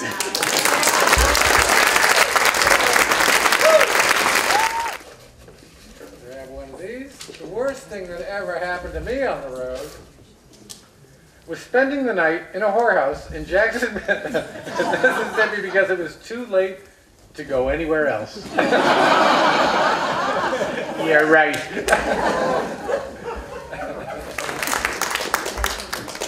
well, this is a story of 25 years ago, but it really started about 20 years before that, and it has to do with airplanes. We know that nothing heavier than air can fly, right? Yeah. So my love of airplanes goes way, way back to zero. the very first time I flew, it went down like an elevator, and my stomach went up to the Eiffel Tower. And I said, Dear God, please let this plane land on terra firma, and I promise I'll never fly again. Well, of course, about a month later, I flew again. And what happened? Because it was many years ago before stabilizers and other things, I said, Dear God, please stop this plane from shaking. I promise you I will never fly again. The plane got down safely. God relented. And time went by. And I forgot. And I flew again. I hate bungee jumping. That's why I've never done it. I don't like very tall elevators. They make me really sick. So, 25 years ago, when my husband said to me, I'm going to be speaking in front of several thousand people, and it would be a wonderful thing for you to come along with me and share this wonderful convention in San Francisco. And I started thinking, well, it would take me a month to get there by covered wagon. and it would probably take me a week or two to drive there. And I would have to take the kids out of school. But maybe I could do it. I could maybe swim around South America and come back. I really did not want to do this. But I said to him, all right, I'll go. But you know damn well if I go, there's going to be an earthquake in San Francisco. To which he replied, Don't be stupid, dear. In five days out there, there's gonna be an earthquake. Well, this was October 1989. and we were staying in the Hyatt Embarcadero in San Francisco. And it was 5.04 p.m., actually 5.03 p.m. And I am standing in my underpants and bra in front of, no, please don't picture this, in front of the mirror, putting on makeup, getting ready to go to a cruise that is going to have incredible food and incredible music and an incredible time. And suddenly, my lipstick goes like this. and I think, what the hell? And I turn around and I think, something's not right. And I go, ah! and I hear, boom, boom, boom. And I think it is the green giant coming down the street. And I'm on the 13th floor and I can hear him. I say, Nelson, what's happening? And he says, I don't know. And he's lying on the bed, jumping up and down, like flopping up and down like Raggedy Andy. And going like this, to get to my room, into the room from the bathroom. And the room's going boom, boom, boom. And I lie down on the bed too, because I figure the lamp fell over and there's sparks flying. The television set fell over and there's sparks flying. I'm dying, I know I'm dying, oh, I better get in bed. So I lay down on the bed, at which point it stopped. It was seven hours later. On my watch, it was 20 seconds, but it was seven hours later. I can tell you the longest 22 seconds I have ever lived in my life. So there I am in my underwear. There he is on the bed. And I say, We got to get out of here. We can't stay here. You got to stand under the door thing. And he says, and he says, I said, What's happening? You're a physicist. You know what's happening. What's happening? I tell me. And he goes, I don't know. So I said, Okay, I know. And I take charge. I say, Get your clothes on. I get my clothes on. I say, grab our passports. I think we're going to China. I don't know. I say, grab our passports. Grab my jewelry. It was in the days when you still took jewelry when you went places. So I have my jewelry. I have my passport. I said, make sure you get your wallet because we're going to need money to get out of here. Now remember, I didn't tell you this, but this was the very first time we went somewhere and didn't rent a car. So here we are in this hotel that just got smushed by God, and I wasn't even in an airplane, and we don't have a car. But first we gotta get out of the place. So 13 floors, I'm not getting in that elevator. I can tell you the way that building shook, I'm not gonna be in there. So I open the door and there's a woman standing there and she's screaming. I said, what are you screaming for? It's over. And she says, I'm scared. I said, fine, follow me. And I march and I find the stairs. And the stairs are split like this. Here's one step, here's the other step, and there's space. 13 floors down between the two steps. And I say, okay, we're gonna do it. Hold my hand. I figured she'd pull me back if I fell. Anyway, I jump down that step, I jump down the next step, he's following behind. He's got the passports, and I stay near me, buddy. Okay, we get downstairs. We go outside because you can't stay inside, and we look up at the clock, the watchtower. What is it? The, the customs house clock tower. And there's a flag on the top, and the flag is normally like this. It's like this. And we look and we say, oh God, we are so lucky to be alive. So what do we do now? We're going to the cruise. I want to get off land. I want to be on water.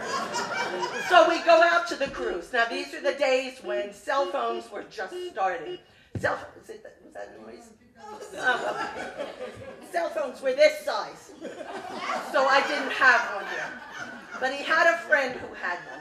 So we call and we, of course, nobody's home. It's two o'clock in the afternoon. But I want them to know we're not dead, so I leave a message. We're not dead. I have figured that was enough. We go into, get on this boat, and what happens on this boat? There is a band in the back playing. There are ice sculptures that are gorgeous ice sculptures. There is food up the gazoo.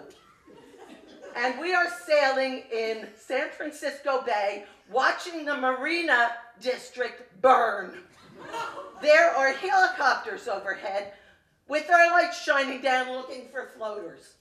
We don't know what the hell's going on. There's no news. There's nothing. We are on that boat. We're supposed to come back to the wharf at 10 o'clock at night. The captain comes on and says, We're keeping you out here because the wharf is swamped with people who want to get back to Oakland and the bridge is down, and we're afraid they'll get on our boat and sink it. So we're staying out here for another two hours. So we're out on the water all this time. We finally come back. We spend the night sleeping in the, the dining room, the banquet hall of the Hyatt Embarcadero with a thousand people farting all night. the toilets did not work. They were overflowing. More to be coming next time.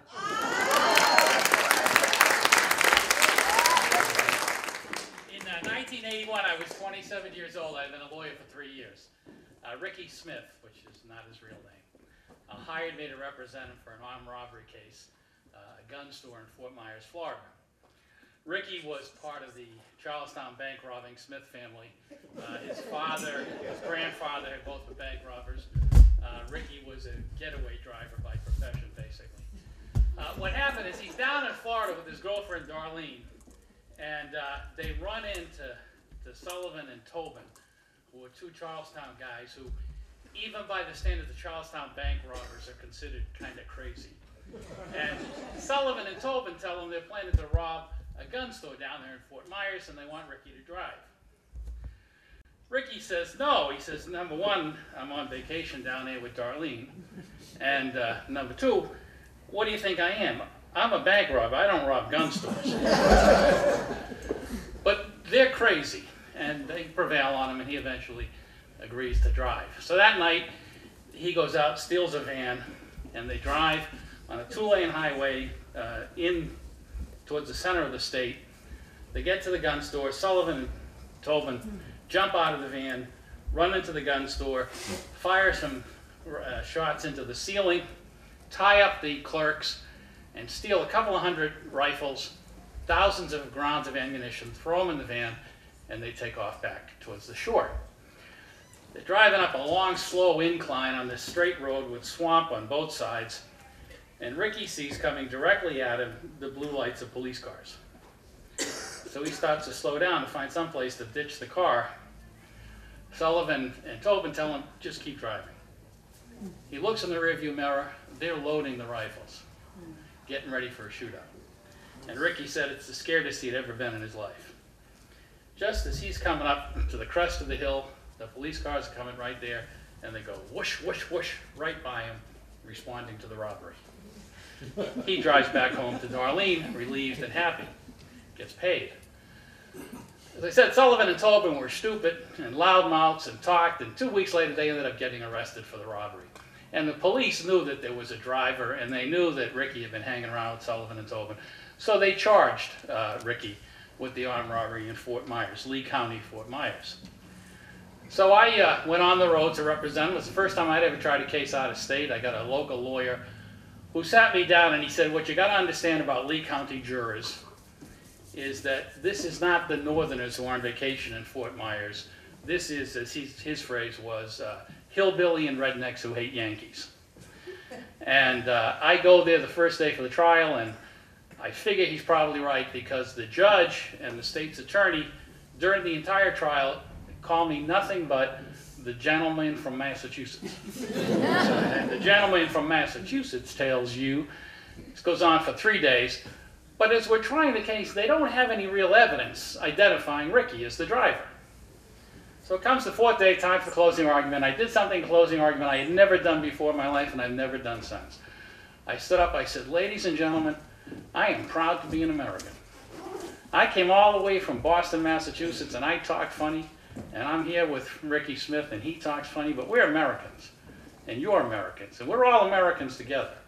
And it's great to be an American. and, and because we're an American, we all get treated like Americans anywhere we go. You know, if you go to Russia, and you go someplace to try a case, you don't get tried like an American. You get tried like a Russian. In America, we treat everybody like. I went on about Americans for about eight minutes. I spoke for about four or five minutes about the fact that there wasn't any evidence that Ricky had committed the crime, and then I closed another five minutes on America. Jury goes out for three hours. They come back not guilty. I was I was overjoyed, and I was a young lawyer. This was the first kind of out-of-state case I'd ever tried. I was really happy, really proud of myself. About three years later, Ricky is involved in a robbery of State Street Bank in Boston. He gets convicted. He does 10 years. Uh, but but that's not the moral of the story. Is this? If you talk to Ricky Smith today, and you ask him about that fiasco down in Fort Myers, Florida, he will tell you the biggest mistake I ever made in my life was to get involved in robbing someplace that wasn't a bank. So my family and I, which is my husband and my four-year-old son, um, we live on Ellis Street in Newport, Newton Upper Falls. It's kind of busy, and we, when you cross the street, you spend most of your time focused on the blind curve, making sure that you're not, you know, going to get hit. So, um, so our strategy for crossing the street is my husband and my son usually go across the street, and then I carry the stroller and you know gather, gather everything together, meet them over there. Um, well, we were going to the Run for the Nun, um, which is a, a Dunn-Gaherin's uh, or Shauna Shauna's charities. So we were going to be doing the 5K, the 5K, pushing my son in a stroller. And um, anyway, as I was walking across the street to meet my husband, he said, "Some- something fell out of the stroller, like something's in the street. And I turned around and and there's a pair of my underpants in the street. I'm like, okay, so so now I, I have equal parts, you know, embarrassment, but also, you know, what a feeling of, of boy, you are a disorganized girl. You are so disorganized because uh, what I do is I throw my laundry down the basement stairs and it pretty much lands in a pile, but you know, it gets stuck here and there. But I never, I mean, this is the first time, you know, in a public area something has fallen out without me, you know, knowing. so, so I quickly, um, I said the best, the best thing to do at this point is to stick it in my car because I'm still across the street from my house. I don't, you know, I don't have time to run up back to my house and do the right thing. So I, I, I put it in my car door and we do the run for the nun. And two weeks later, um, I am driving home from the gym, and it's dark. It's kind of cold. My nose is running. Oh, I reach around in my car for something, and I'm like, oh my god, these things I we meet again. Here they are again. And I'm like, why can't I just, you know, put that put them in the right spot? So I'm like, okay, I'm gonna I got have one of these sweatshirts on now that have the pockets in the front. So put them in that pocket because when I get home, I'm gonna put that And I was downstairs where it filming the belongs. chair and distracting everybody. So, The so, internet is sorry. So, um, I'm Yeah. sorry. I lost my train of thought just a second. Thank you. So they're in my pocket, and, and my intention was to take them right down to basement when I got home. And, um, you know, I have a four-year-old son, so he was waiting for me to get home. He was so excited. He meets me at the door. Oh my gosh, can you read me a story? I'm about to go to bed, and everything happened. So three weeks later, um,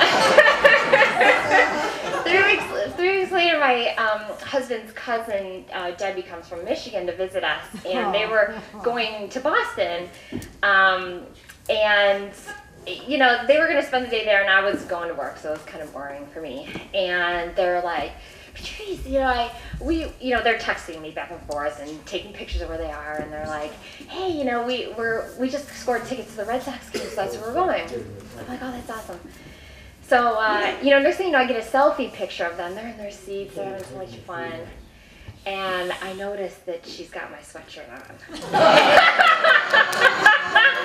and, and, you know, she's got a, thankfully, a windbreaker. Oh, she's got a windbreaker over, but she, I see the hood and I'm like, oh my gosh, you know, like, my underpants are still in there.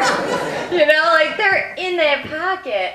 I, I'm like, well, okay, I, I don't know what to tell her. I'm like, God, I'm, I'm kind of kind of jealous that my underpants got to the Red Sox game. I mean, I'm stuck at work and they're at the Red Sox game. No, but anyway, um, you know, she she comes home and she's, you know, she has not gone in the pockets. And, and so she, you know, I got pretty lucky there. My decision was to not tell her. And, and so, you know, I did the right thing. I, you know, got the, I finally, I said this time for sure, got the sweatshirt from her and, you know, went to the top of the basement stairs and shucked him down. That's it. So I'm going to tell a story about one of the weirdest car rides I've ever had. Um, so sometimes, you know, when you get a boyfriend, you don't know what they're going to be like and you don't know what's going to happen.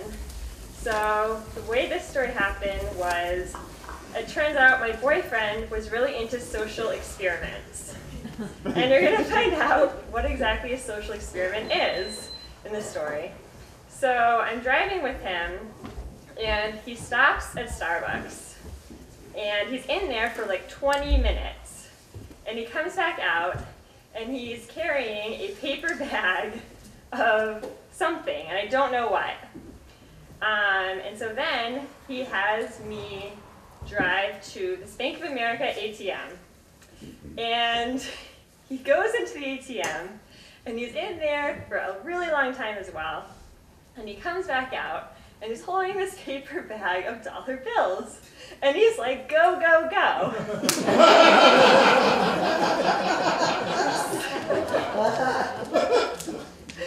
so, um, Um, I was young and stupid. I didn't really know what was going on, but I drove.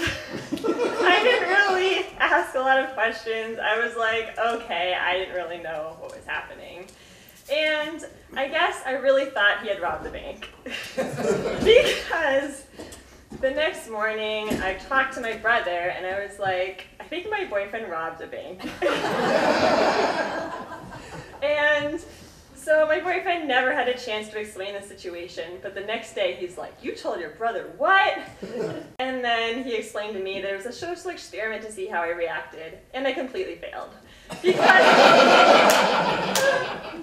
because he wanted to teach me a lesson about standing up for what I believe in and not listening to other people, and that lesson apparently did not work because I drove the car and did not kick him out.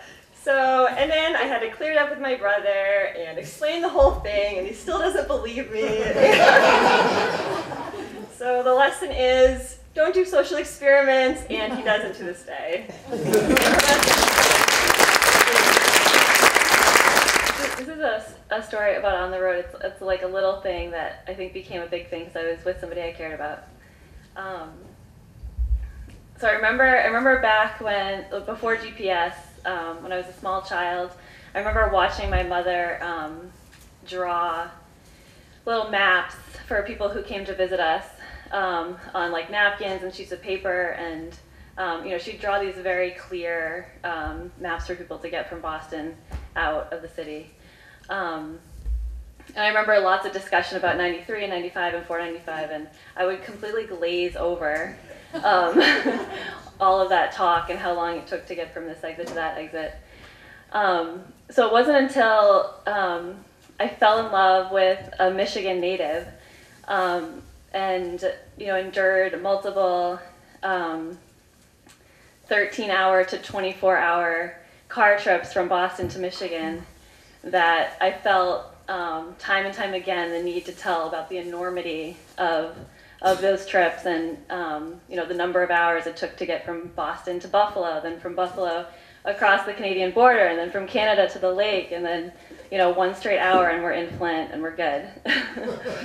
um, so suddenly, like telling each part of that trip became um, became something that I would I would tell to anybody who would listen. Um, and we, we made those trips for about four years. We made those trips at least three times a year, um, and they were they were you know awesome things about those trips. We'd Luke um, taught me about you know every single chord of every Rush and Cure and um, U2 song in, in his like 17 albums. Um, and I would read him aloud stories from my literary magazine that you know pulled at every heartstring. Um, and on the other side of side of things, we would um, you know we would die from like inhaling too much caffeine and too much diet coke, and we refused to ever get a hotel, so we would um, drive overnight every single time. Um, so it was always this like wonderful and awful thing. Are we going to survive? Are we, you know, we start to smell like the car. We smell like each other. Um, stomach ache. Are you? Gonna, are we going to get sick? Are we going to make it?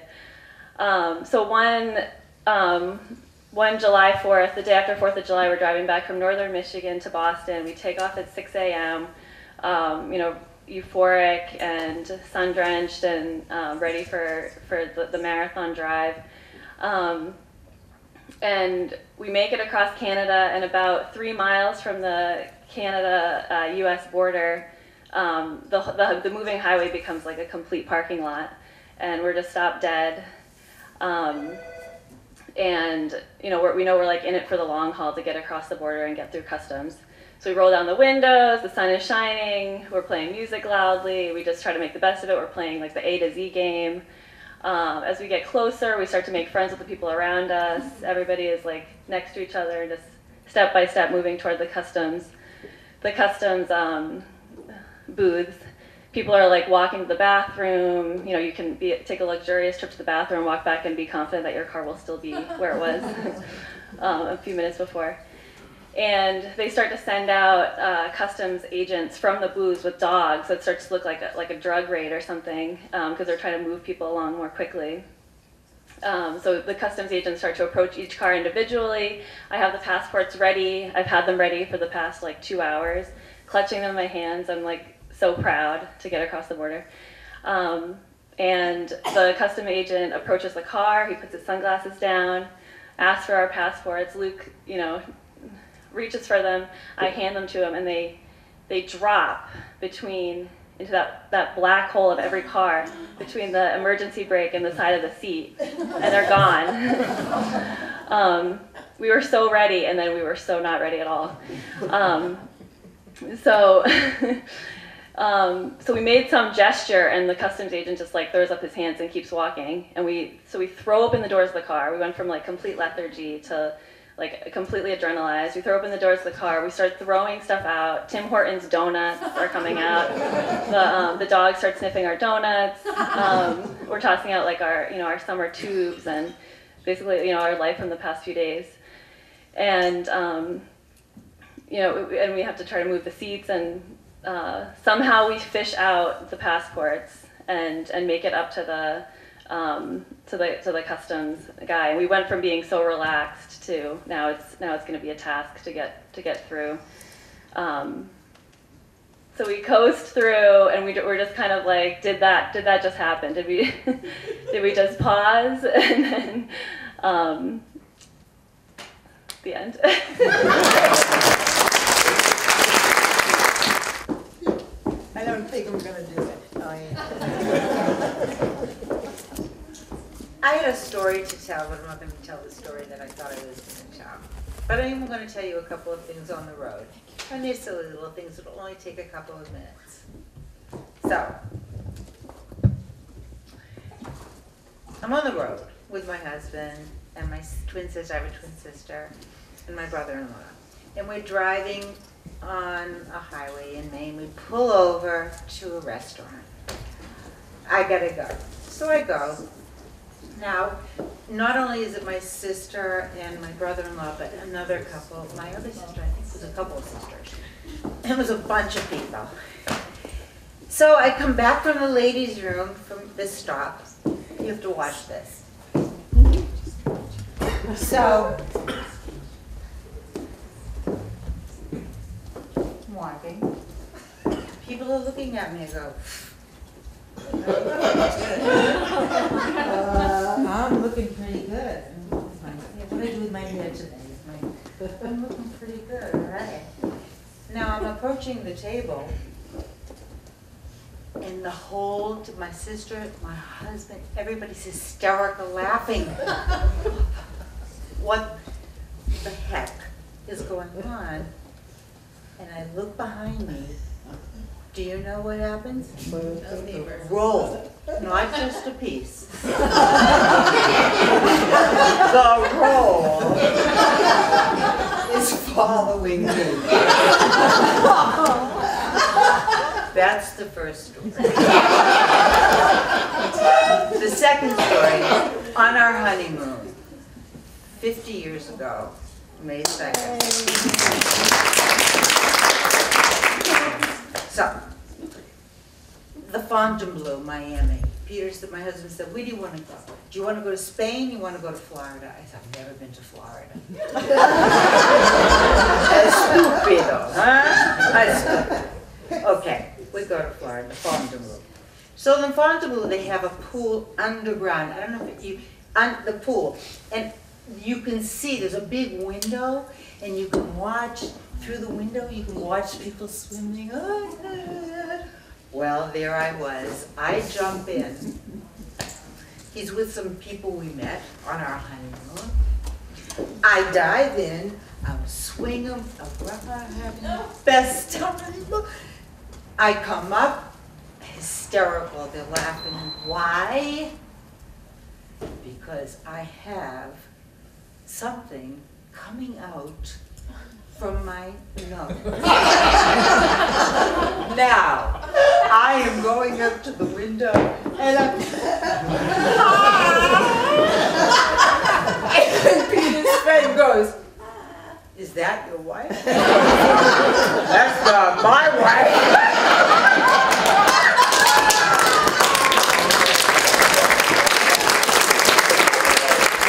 So this is um, just a quick story. Um, I I went to University of Hartford and then I transferred to University of Oregon and I was out on the West Coast.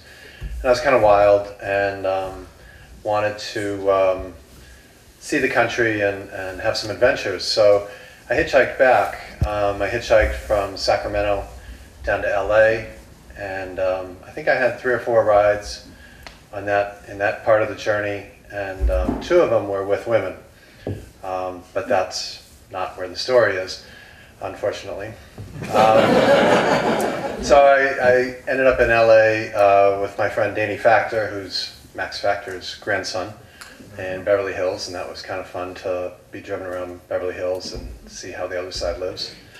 And he drove me off, he dropped me off in Bakersfield, and I was picked up by, uh, I was out there, I don't know, in the sun for three or four hours or something finally these two kind of rough-looking guys pick me up in their pickup truck, and they say I can get in the back while they're driving across the desert. So it's getting kind of hot and uncomfortable, and so eventually they let me into the cab, and three of us are sitting, and we had a good time, and um, they said I could stay at their house. So we drive up, and they say I could stay in the backyard. So I uh, made a little bed and stayed in the backyard, and it was pretty close to the strip, so I walked over and walked around that night, and I think I got back around midnight or something, and get up the next day to, uh, you know, I'm awake and have to do what I have to do in the morning, and so I go over to the front door and I knock on the door, and or I just look in the window and I can see the guy asleep on the couch. They had gone out drinking, and he's passed out on the couch. So I figured, well, it's seven o'clock. I'll give him another hour. So I went back, and I really have to go to the bathroom.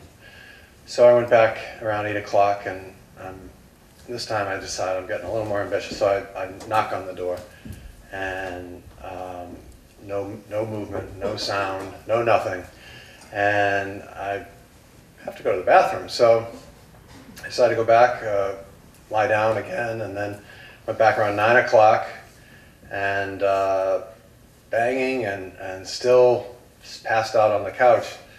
So finally, at around 11 o'clock, um, I'm really like banging on the door, banging on the door, and he finally wakes up and comes and opens the door, and I burst towards the, the bathroom. And that's it.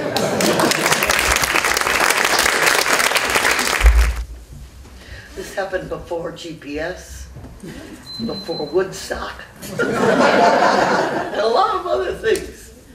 I was uh, traveling for eight months, going coming back around from around the world, and I was in Lahinch, Ireland.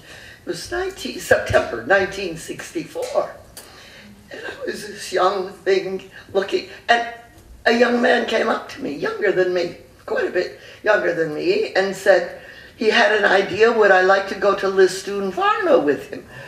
And I said, Listun what? And he explained that it was better than all the other festivals because there were bands with the best bands everywhere. And uh, I didn't know quite how I would go there because he said he would not have, he didn't have a car. And I said, well, thank you, but I don't really go other places, go places with people I don't know in foreign countries.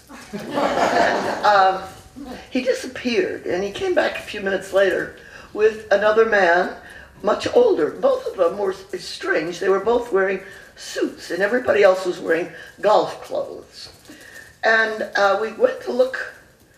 They, they, I looked at the car and I said, "Oh my goodness, that's a rather small car."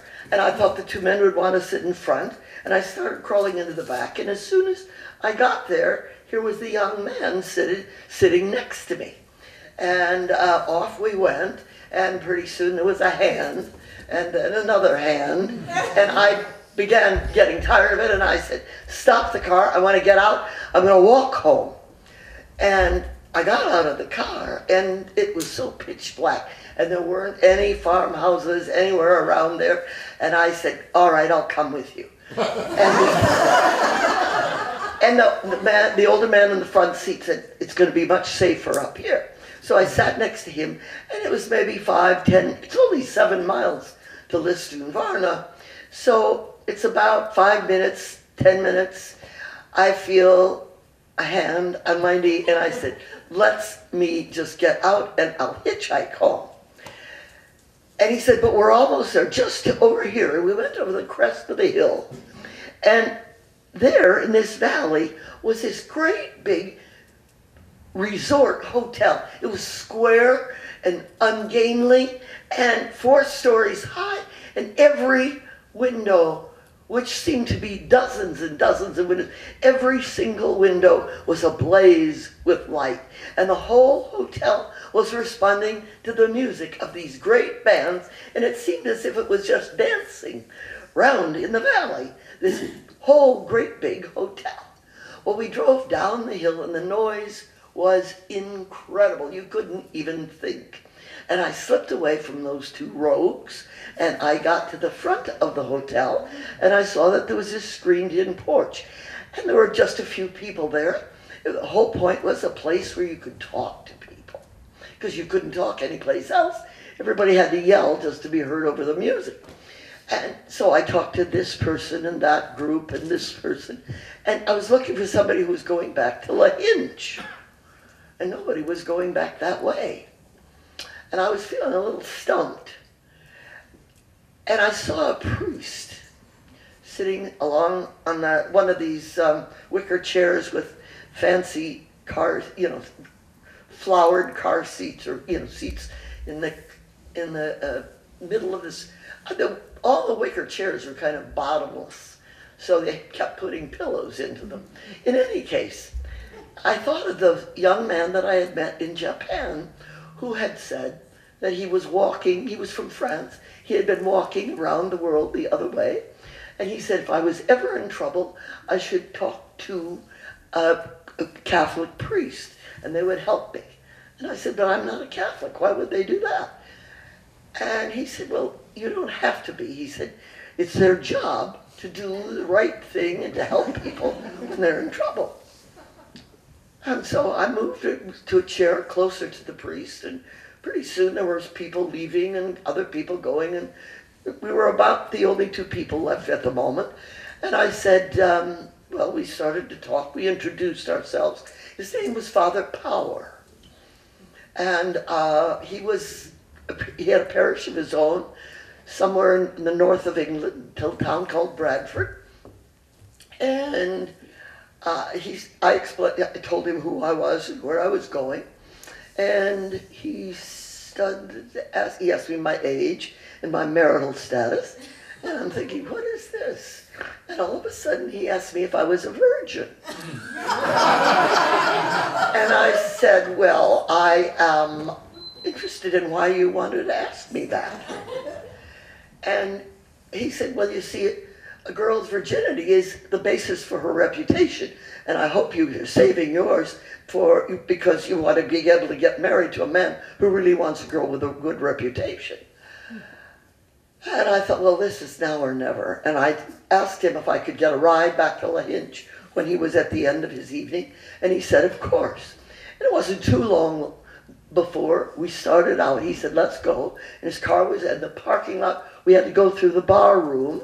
And it was just very crowded. And I, oh,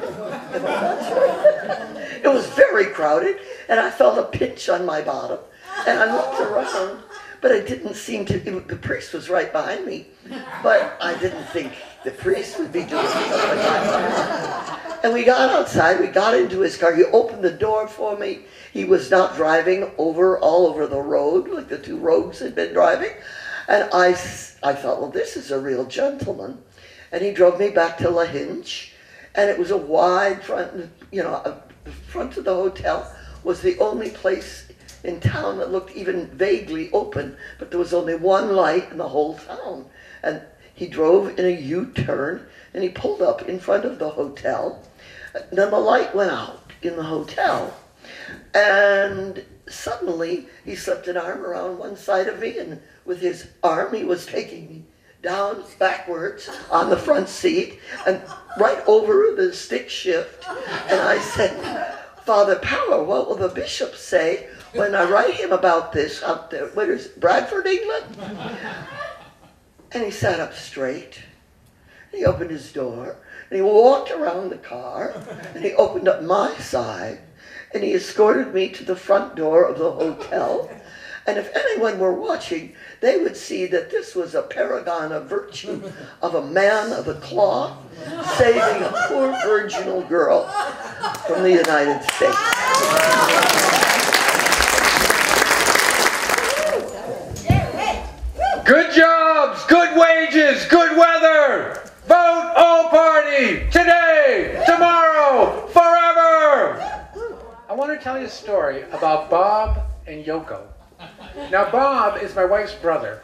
Uh, but you'd love Bob. Everybody loves Bob. He's a great guy. He's kind of wacky, um, and he's a character. And Yoko is Yoko Ono. Now, Bob lives in Manchester, England, and many years ago, uh, my wife and I, we were going to go on the road. We were going to head out, see America, epic journey, back roads, small towns. At the same time we were doing this, Bob was going to come for his first trip to America out to see an old college friend in Wisconsin. So Mari and I, we headed out. We went on for about three weeks. We swung by Wisconsin. We picked Bob up, and then we head on west. So as you imagine, there's lots of driving. I'm doing all the driving. Mari's beside me in the driver's seat, and Bob's in the back seat of our little car with all the camping equipment in a little cave. And day after day, and hours at a time, he would entertain us.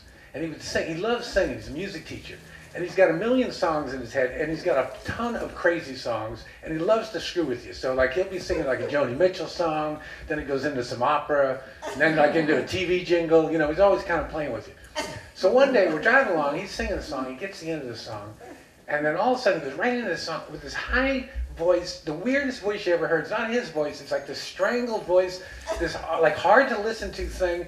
And it's like, what is, and he, he's singing, and we go, what is that? He says, Yoko Ono, and he keeps singing, doesn't miss a beat. And we're thinking, Yo, Yo, who sings Yoko Ono? Uh, but anyway, he sings in this weird voice all the way to the end of the song, and immediately goes into a second Yoko Ono song. He sings that all the way to the end. He immediately goes into a third Yoko Ono. At this point, we're screaming, we're begging, we're pleading, like, you know, stop, and he's just grinning ear to ear and singing. He sings an entire side of a Yoko Ono album from beginning to end. Now, there is nobody else on planet Earth that I know of, other than maybe, Yo- maybe Yoko Ono, who could do this. But that's our Bob. So I want to move ahead a couple of years. A couple of years later, Mari and I are camping down in Cape Cod, which we still do to this day. And our really good friends, Scott and Zini, are coming up from uh, New York. They're going to spend a week. They arrive, before they're out of the car, Zini is talking a million miles an hour. She's telling us this insane story. A month before, she was out on a Friday night. She was going to meet a friend. The friend was late. She's bored. She looks down, and there's this application for an art show at the New Museum of Contemporary Art. Now, the show is going to have 30 artists. 20 of them are well-known contemporary artists. One of them is Yoko Ono. Oh. Now, the other 10 artists, they're going to pick from these applications, and anybody can apply. So Zini, who's another piece of work, she just grabs this thing, fills it out, and says, for my piece, I'm going to organize a third political party, and it's going to be called the O Party, and I'm going to hold the national convention at the museum. And then she puts the thing in and forgets about it. The day she's coming up to visit us, she opens the mail. Congratulations, you've been accepted to the big show. So she arrives at our campground, freaked out. The show's in six weeks. She has no idea what she's going to do. So we spend the whole week around the campfire every night hatching these plans. So we think, okay, what are you going to need? You're going to need a stage. We're going to build a stage. You're going to need a lot of balloons. Uh, uh, you're going to need uh, logos, and we're going to have to rope everybody we know into this thing. We're going to have to have signs. We're going to have it goes on and on and on. By the end of the week, it's got like crazy and crazier. We're going to have a parade. We're going to have bullhorns on the top of the cars. We're going to have Secret Service agents.